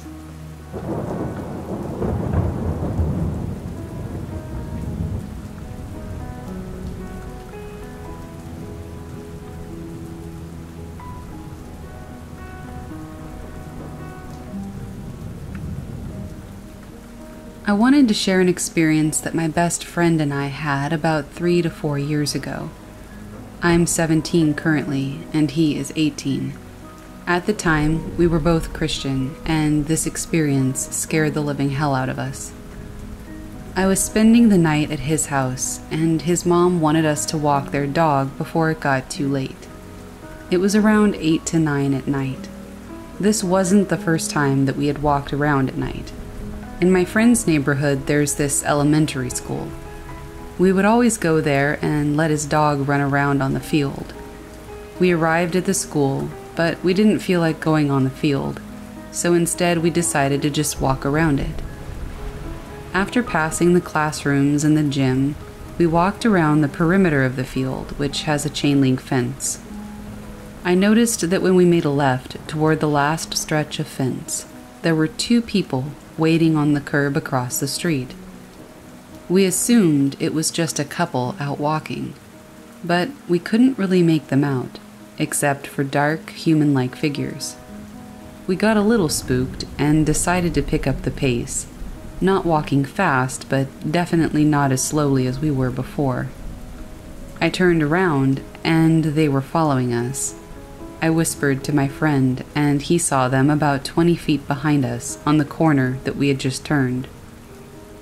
At this point, we weren't just spooked, we were pretty scared. We started to fast walk down the sidewalk. When we made it to the end of the chain link fence, about 30 feet from where I turned and whispered to my friend, we noticed that they had already made it all the way down the sidewalk before the corner we turned and first saw them at. There's no way they could have turned and made it there in time, even sprinting. My friend's dog started to whine, and we just decided to book it back to his place. This was the neighborhood he grew up in, and he knew a shortcut back to his house. The only other way to get to his home is to walk about two blocks on the main road. We were out of breath by the time we made it back, and we sprinted as fast as our legs could carry us. We opened his front gate, and I turned around just to see if anything was there. Lo and behold, there were two black, human like figures on the main road, walking toward the house. There's no way that any people could have made it there in time, even if they did know where to go. We ran inside, locked the door, and prayed to God that nothing would happen. We Googled how to get rid of demons, prayers we could use, and so on. Nothing else happened that night. We talked to our pastor, and he told us about an experience with a demon that he had as a child. He told us to memorize certain prayers and to trust in God. Since then, I haven't really thought about it until I read some other stories. We have no idea what it was that night that followed us. All we knew was that we had to run away as fast as possible.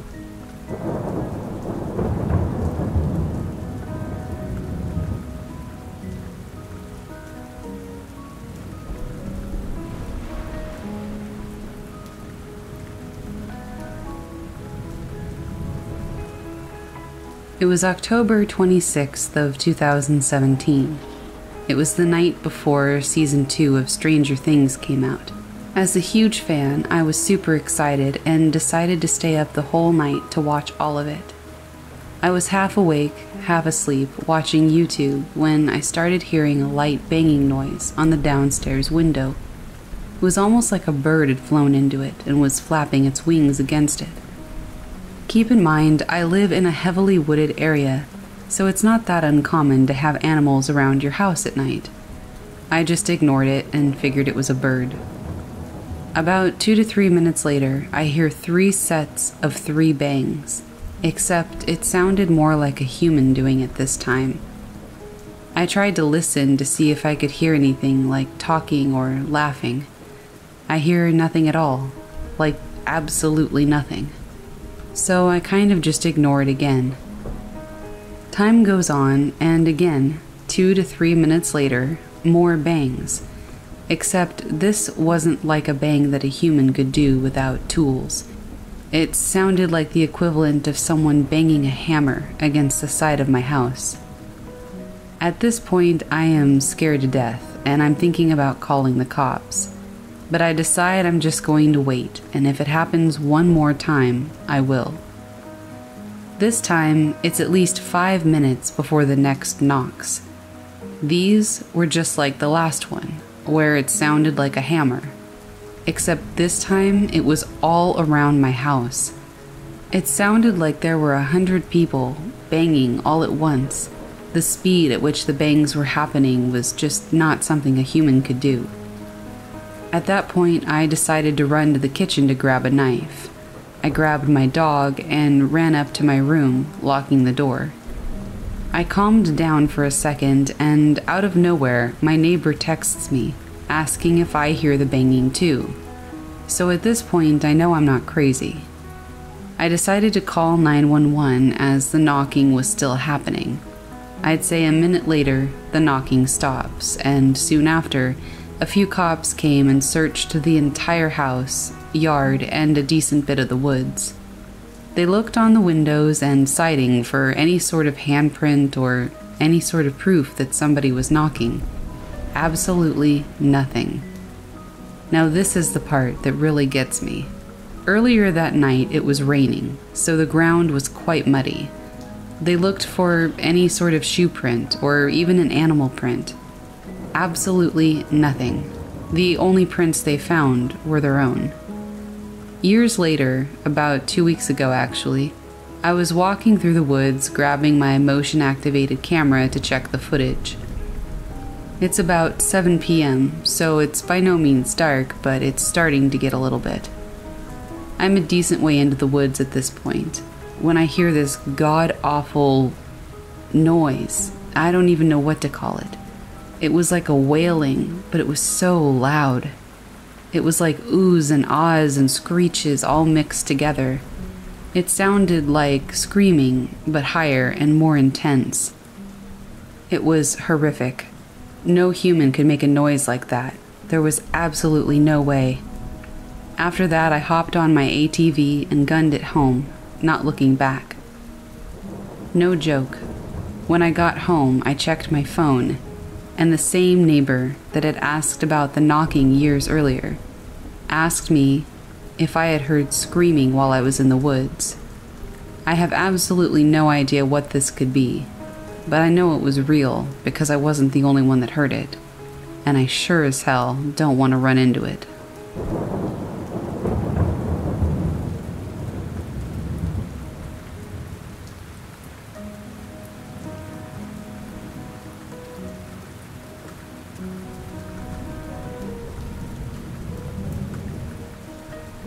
I've had three UFO encounters.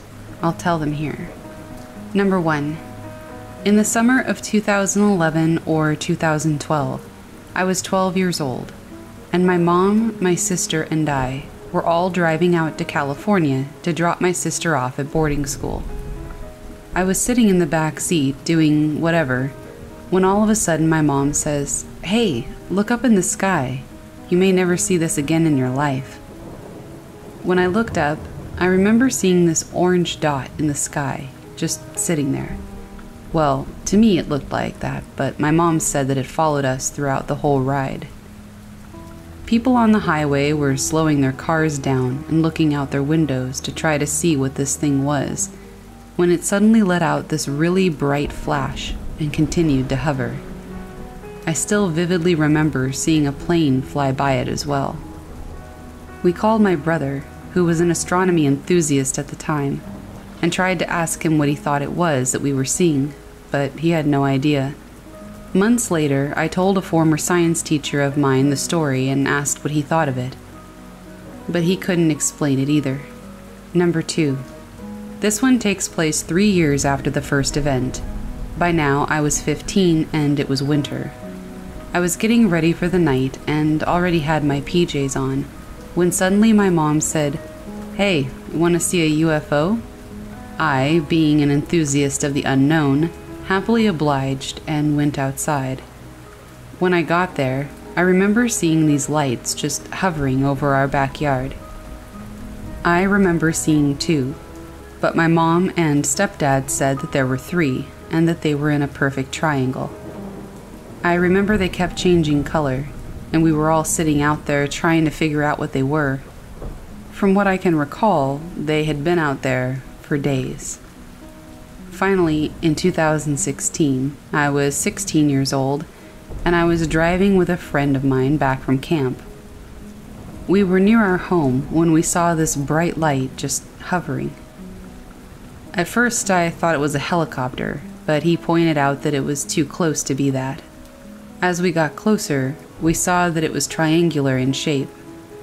I told him to pull over and get a picture. We pulled over, and I remember that it took him forever to eventually get the camera. By then, I was watching this thing, and it was slowly moving away. When he finally got his camera together, it had already disappeared. This one could easily be explained, as it could have been a military drone. We were close to some military base thing. But either way, it was still very interesting.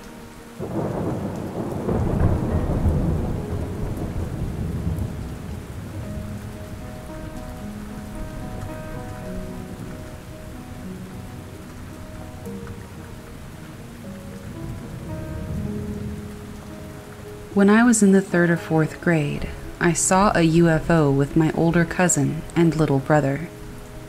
This was in Voorhees, New Jersey, during our summer vacation.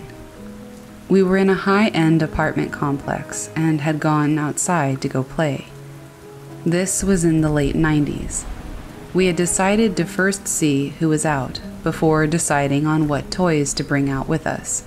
Think water guns, bikes, scooters, Pokemon cards, things like that.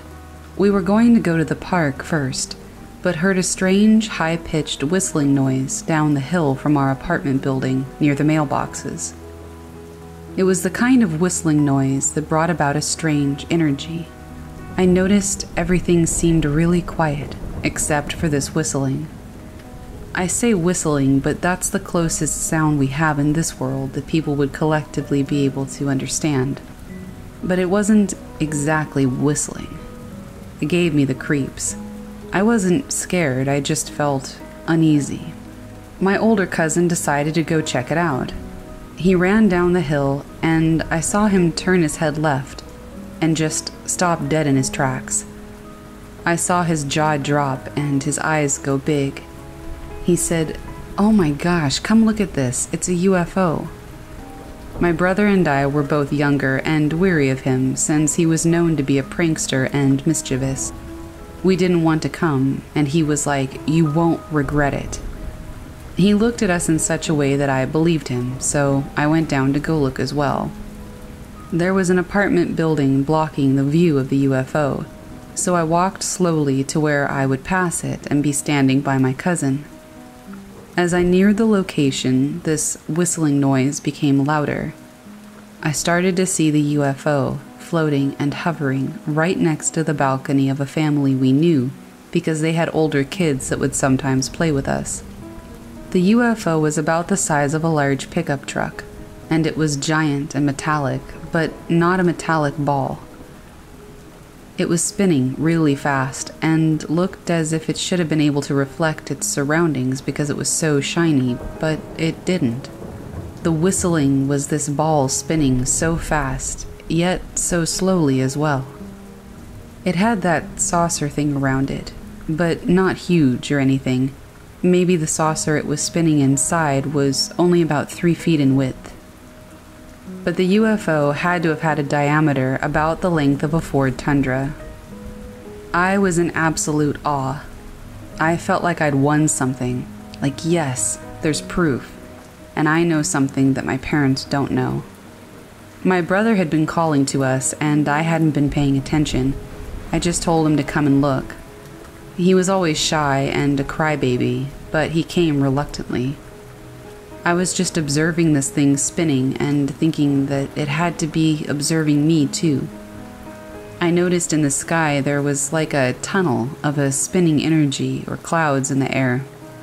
That tunnel went straight up into the sky and far away, and the UFO, or its copy, was on the other side way off in the distance. My cousin wanted to throw a rock at it and tell them to get out. My little brother screamed his panic scream and told him no. I also told him not to do that.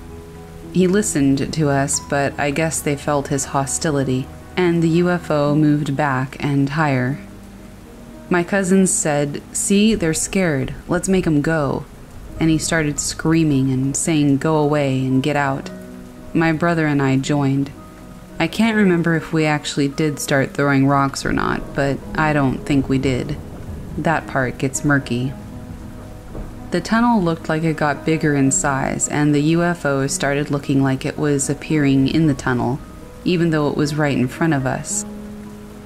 It was like there was a delay, and we could see snapshots of the UFO in the tunnel going up, like a loading bar where it's copying itself. There was a loud sound like a whoosh, and my little brother screamed and bolted home. The UFO was no longer in front of us, but the tunnel was still there, and we could see like a bright light and the UFO at the end of the tunnel, and then it was gone. We ran home to tell my mom. When we got there, my mom was pissed and thought that my cousin and I had tricked my brother and scared him, she couldn't quite understand through my brother's hysterical crying what he was saying, only heard that they made me see the aliens. We saw no aliens, and we explained this to my mom. We explained what we saw, and I said, Mom, it's real. I was the only girl, and my mom believed me because I wasn't one to lie or prank. I used to keep a diary, and I wrote this experience down. I forgot about it, and somehow it had felt like a dream over the years. We had moved to a new house, and many strange things happened there. And something absolutely terrifying and awe inspiring happened that made me check my diary. I had asked my brother if he remembered the UFO, and he said he did. He told me the story, and it matched what was in my diary. We called my uncle and cousin and had my cousin retell his side of the story. Years later, all of our stories matched.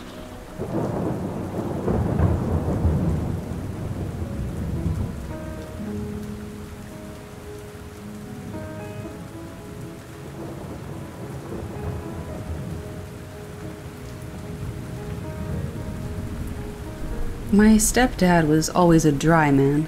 His humor was always what you would expect from someone born in the 1940s. He was devout in his faith as a Christian and hated superstition. It intrigued me then. In 2006, he confessed, and I say confess, because he tells his story in a tone that didn't really fit the mood of the night that he told us. We were all just eating dinner, talking about the Patriots football game. And that's when he tells me of a time that he took the train from Chicago to southern Wisconsin that stops in Kenosha. He was on the near empty train, by himself, when he looks out the window and sees a frozen pond, very small, about 10 feet from the train. He sees about a dozen small men in green outfits. Some have top hats, some have pointed hats of red and gold. He was shocked it was a traditional Midwest winter, lightly snowing. He was so shocked that he shared the experience with a random woman who was sitting across from him. She noticed it too, and the both of them watched in fascination and horror. They said that they were scared, that their train cart was so empty that nobody else seemed to notice. The train began to move, and they moved on. As a teenager, you can imagine my brothers and I asking many questions. In my rational mind, I thought perhaps it was an issue of scale. Maybe it appeared that they were short little men, but he said that it was so close to the train, and the pond was so small, that there was no issue in scale or perspective. He says that he knows he saw little gnomish men ice skating and doing acrobatics on a small little pond in the middle of winter.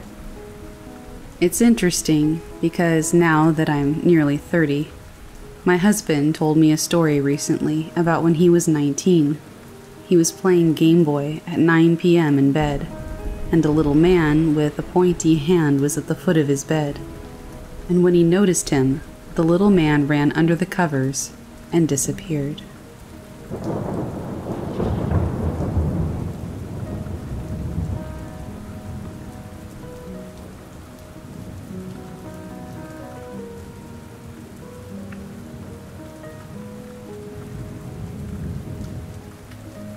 We have a home video of me at around three years old.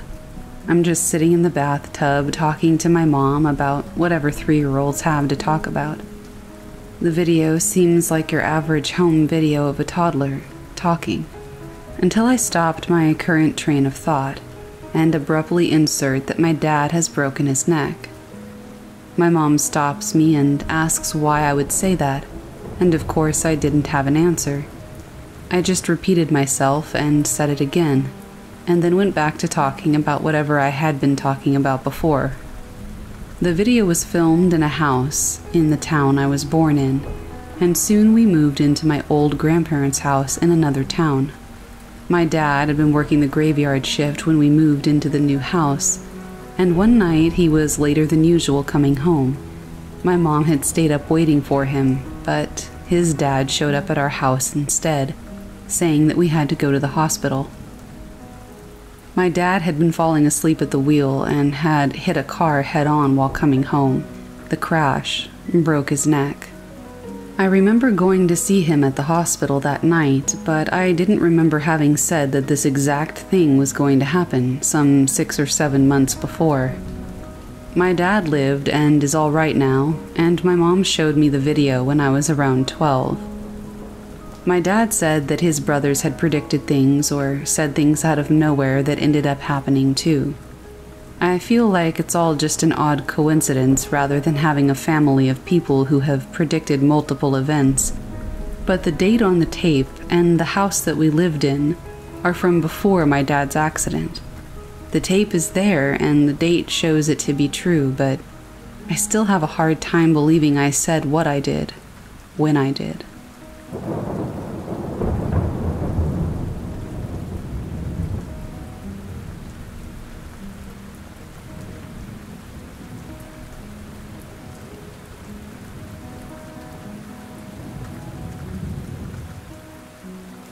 I ride my bicycle at night.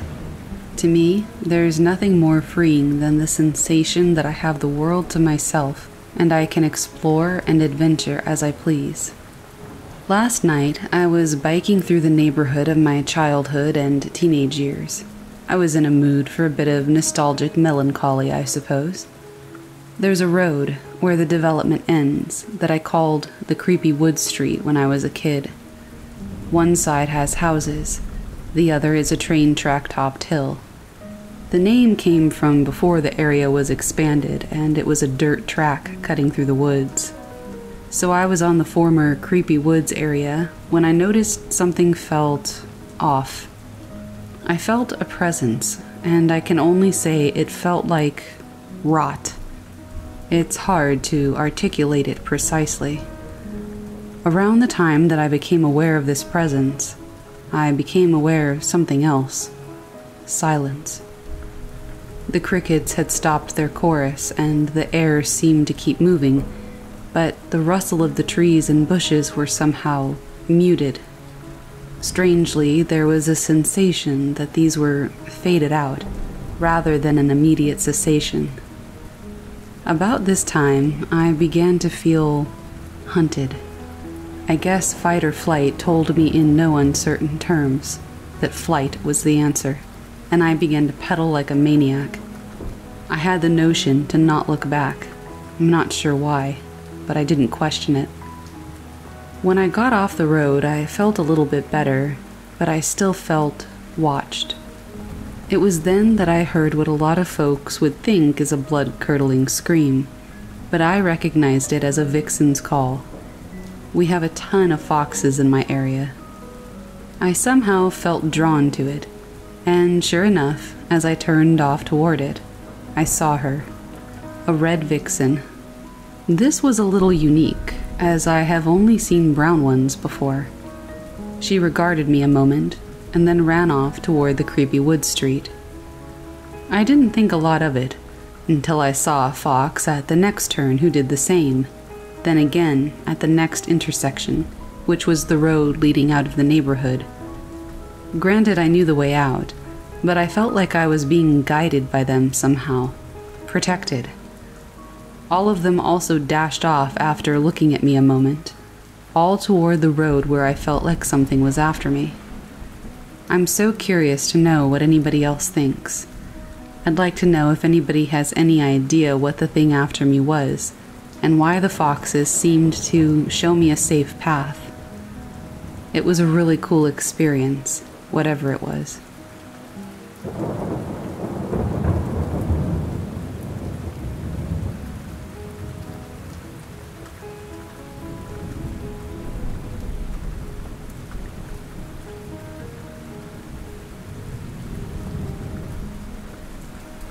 Fairly skeptical of the paranormal, so I don't really know what to believe.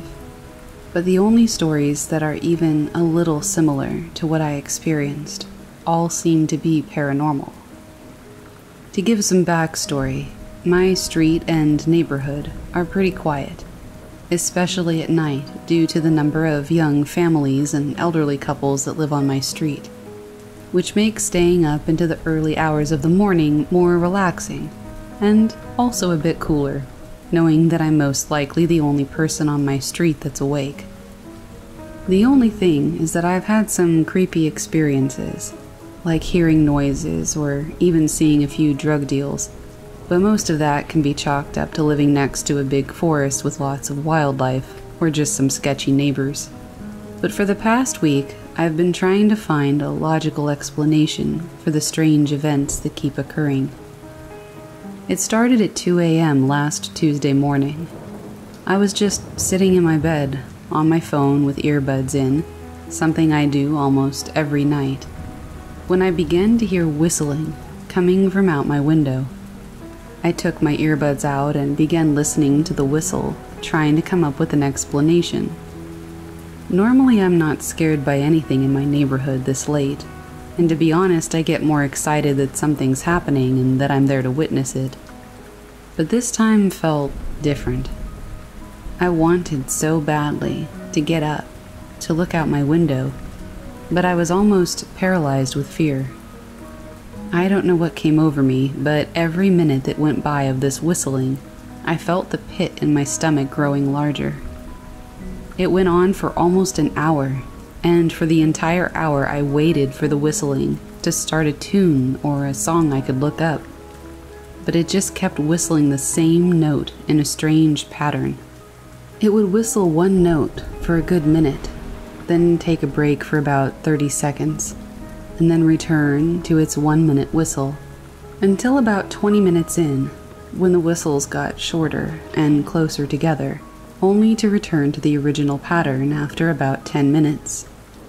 What was even stranger was that whatever it was, was pacing in front of mine and my neighbor's house up until it stopped, when it retreated back down the other side of the street.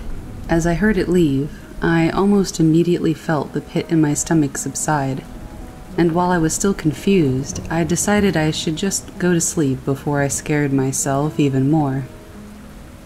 So the next day, I asked my parents and even some of my friends that live close by if they had ever heard anything like that. Everyone assumed it was some kind of animal, which made me feel a lot better. But I wanted a definite answer of what I heard. I stayed up for hours that night, researching types of animals that were local to my area and the noises they made. I didn't find anything that matched. This only left me more frustrated that I had no clue what it was so I continued staying up in hopes that I would hear it again, and that this time I would look out my window to see it. But with my luck, I've never heard the whistling again, except lots of weird things have been happening.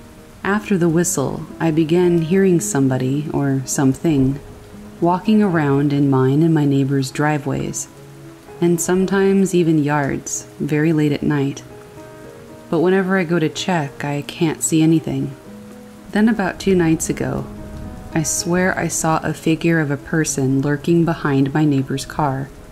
And then the night after that, I saw what looked like a flashlight in the woods near my house. And whatever was holding that flashlight was running out of the woods. Then again last night, I swear I saw a person crouching near my neighbor's car, just looking around. I thought I was done researching because I couldn't find anything about animals but now I've begun researching any stories even similar to mine, hoping that either I'm not alone, or even better, somebody has the answer to the strange occurrences going on. Because I would like to start sleeping at more normal times again, and not have to be worried about either a stalker, or a poltergeist, or something else coming to get me in my sleep.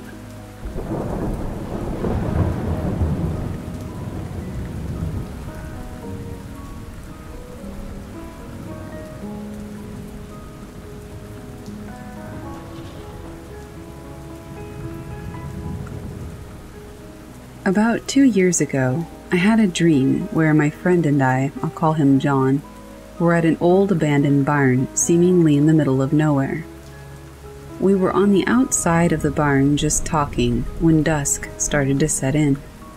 So I told John that I had to be going or I would be late. I started down the path that led around the barn to wherever I knew I had to be going. I remember it just being a simple dirt path with a simple wooden fence running along the left hand side of it, leading into a wood line about a 100 to 200 yards away. As I turned the path around the barn, I looked up and noticed a humanoid figure in the middle of the path, about 20 yards away. Naturally, I was startled, so I turned to John. For some reason, he'd been following me and I hadn't questioned it. To ask if he saw it too, but he was gone. I turned back and the figure stood in the same spot. For some reason, I continued along until I got about five to ten feet from it and was able to suddenly make out its features. The moment I looked upon the figure close up, I recognized it immediately as Death or the Grim Reaper, as traditionally pictured. But it was unlike any iteration I'd ever seen or have seen since. It had your typical dark hooded robe, but its skull like face shimmered like an emerald in the sunlight, with two small red orbs in its eye sockets. The part that I remembered disturbing me the most was his friendly smile that stretched from ear to ear. His mouth and teeth were like a bottomless pit of darkness, and his teeth resembled that of a shark. The part that I think really caught me off guard was when he spoke. He had what I remember being a surprisingly normal voice. It was actually fairly pleasant to listen to. His words are the main thing that still puzzle me, because I feel like there's some meaning to them. After making eye contact and smiling, he told me, You're a day late for judgment. And that's when I woke up. It's the only dream in my life that I remembered that vividly when I awoke, and the only dream or thought that I've ever been compelled to write down. I still carry that page folded up in my wallet. Does anyone have any theories as to what this might mean, if anything? I told my friend who was in the dream, and he thinks it's connected to the time when I was about 14. I drowned in the reservoir, but I was pulled back out by my brother, and I came back.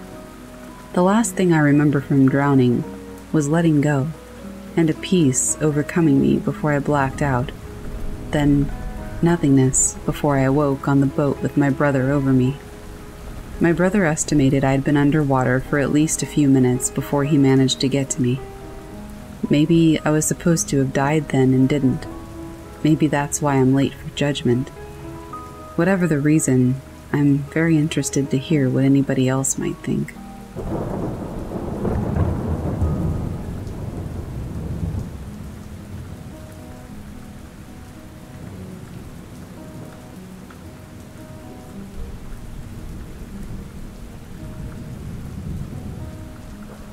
I had just gotten back from the beach and I went inside the house looking for my grandmother. The door was unlocked and she never leaves without locking the door. I didn't see her on the couch, and her bedroom door was not closed, so I knew she wasn't taking a nap. But it was just odd that she wasn't on the couch or the front porch. I glanced at the table, and there was no note. I called for her, and I heard a kind of muffled sound that I thought might have been a muffled call for help. I ran to the back. I didn't see her on the bed, so I ran to the bathroom, and she wasn't there either. I called again for her, and I didn't hear anything. So I looked around the bathroom once more, and then back to the bedroom. I swear that I saw her laying on the floor in the bedroom. I saw her long enough and well enough to see what she was wearing a blue sweater and jeans. I blinked, and she wasn't there. For a moment, I thought I just imagined it, so I ran to the front of the house and looked around. I thought maybe I should go get my mom. This time, though, I saw my grandma's neon yellow notepad on the kitchen table, so bright that it was impossible not to see, and there was a note saying she'd gone across the street for a second. I looked at that table, and there was no note before. I felt so disoriented and confused for a second. I went back outside, and there was my grandmother with the neighbor. She was wearing a completely different outfit, too. I didn't tell anybody because I didn't want to freak anybody out. I just kind of hope whoever that other person I saw got help passing on, or whatever they needed. Long story short, I signed my grandma up for a clothing subscription. You know, the kind that you fill out a questionnaire and a stylist picks things out for you and sends them to you in the mail. You try them on and keep what you like. It's like a subscription box. Anyway, my grandmother called me and said that she wanted to keep everything, so I logged into her account to mark everything. Guys, I shit you not. The sweater that my grandma was wearing when I had seen her on the floor, she received it in that pack. I'm kind of freaking out. I want to tell her, but again, I also don't want to come off like a weirdo. I mean, she already knows I'm weird, I just don't want her to think I'm that kind of weird. I guess I'm safe for a while because it's the summer and that's definitely a winter top, but I don't know. It makes me nervous.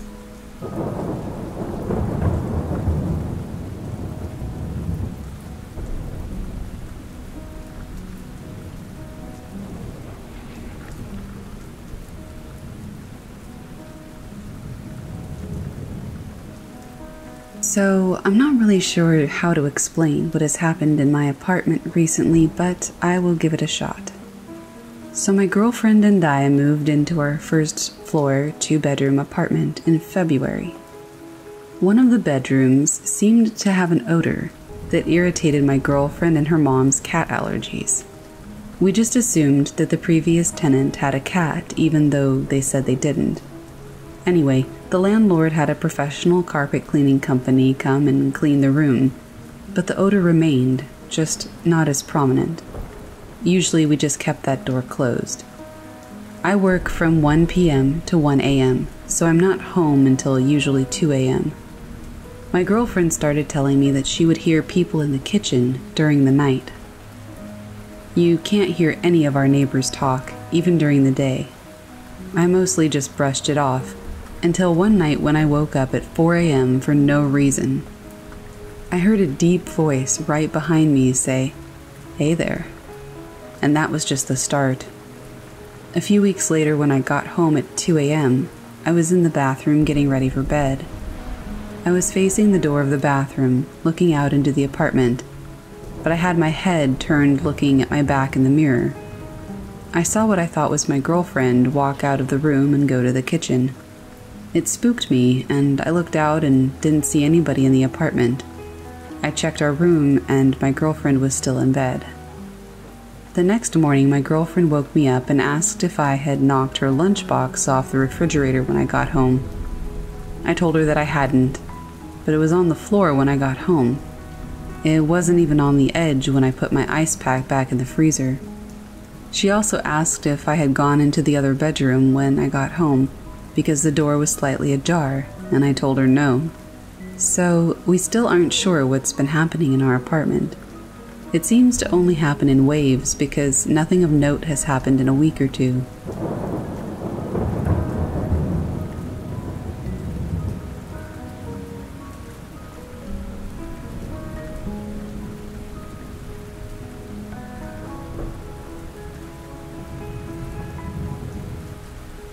I know what you're going to think, but I really need you to hear me out. I firmly believe in the existence of aliens, but I'm also very skeptical of evidence that's presented. But after what happened to me, I don't know what to believe. So, a couple of years ago, I had picked up my sister from her school dance, and we were on the drive home. The road we took to get home had no streetlights and about three homes along the side of it. This road was in the middle of wine country. It was about 9 p.m. in the winter, so the sun had gone down a while past and the road was pitch black. The road was hilly, so when you reached the top of one of the hills, you could see all the way down the road.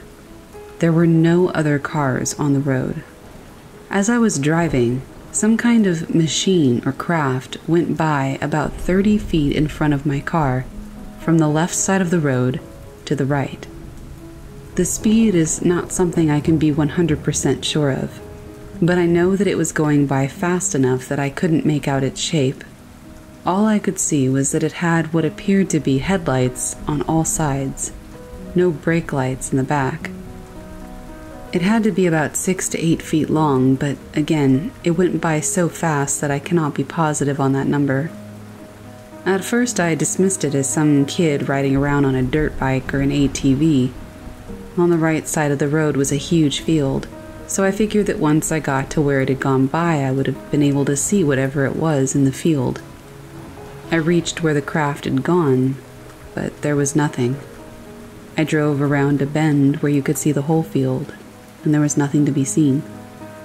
I was and am so confused about what I saw that night. I mean, maybe it could have been somebody on a bike or a cart, but I've never seen any man made vehicle that has white headlights on all sides, that moves that fast, and that can disappear in moments.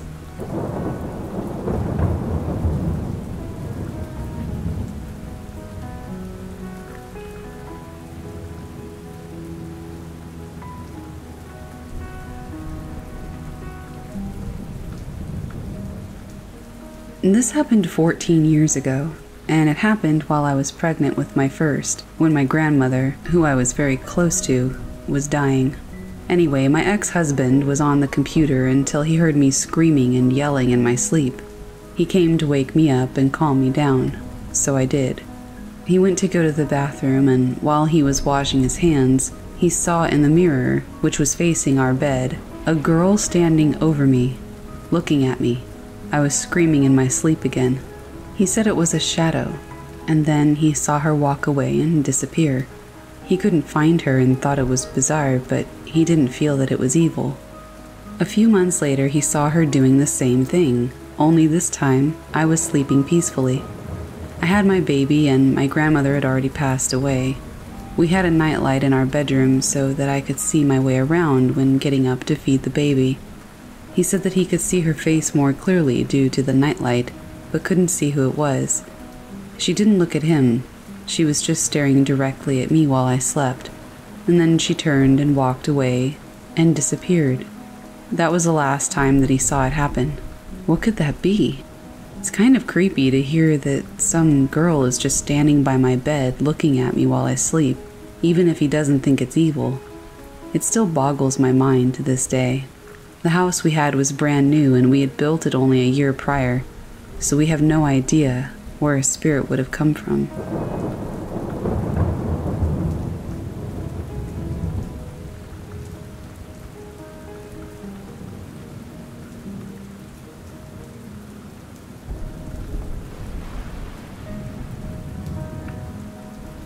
Last night, I had a very disturbing dream. I was driving the car with my wife riding shotgun. My kid was in the back seat.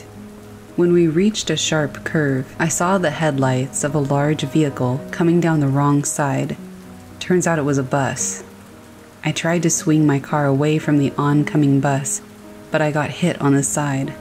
We went skidding across the road, and I could see the face of my terrified wife and my son flying in the back seat.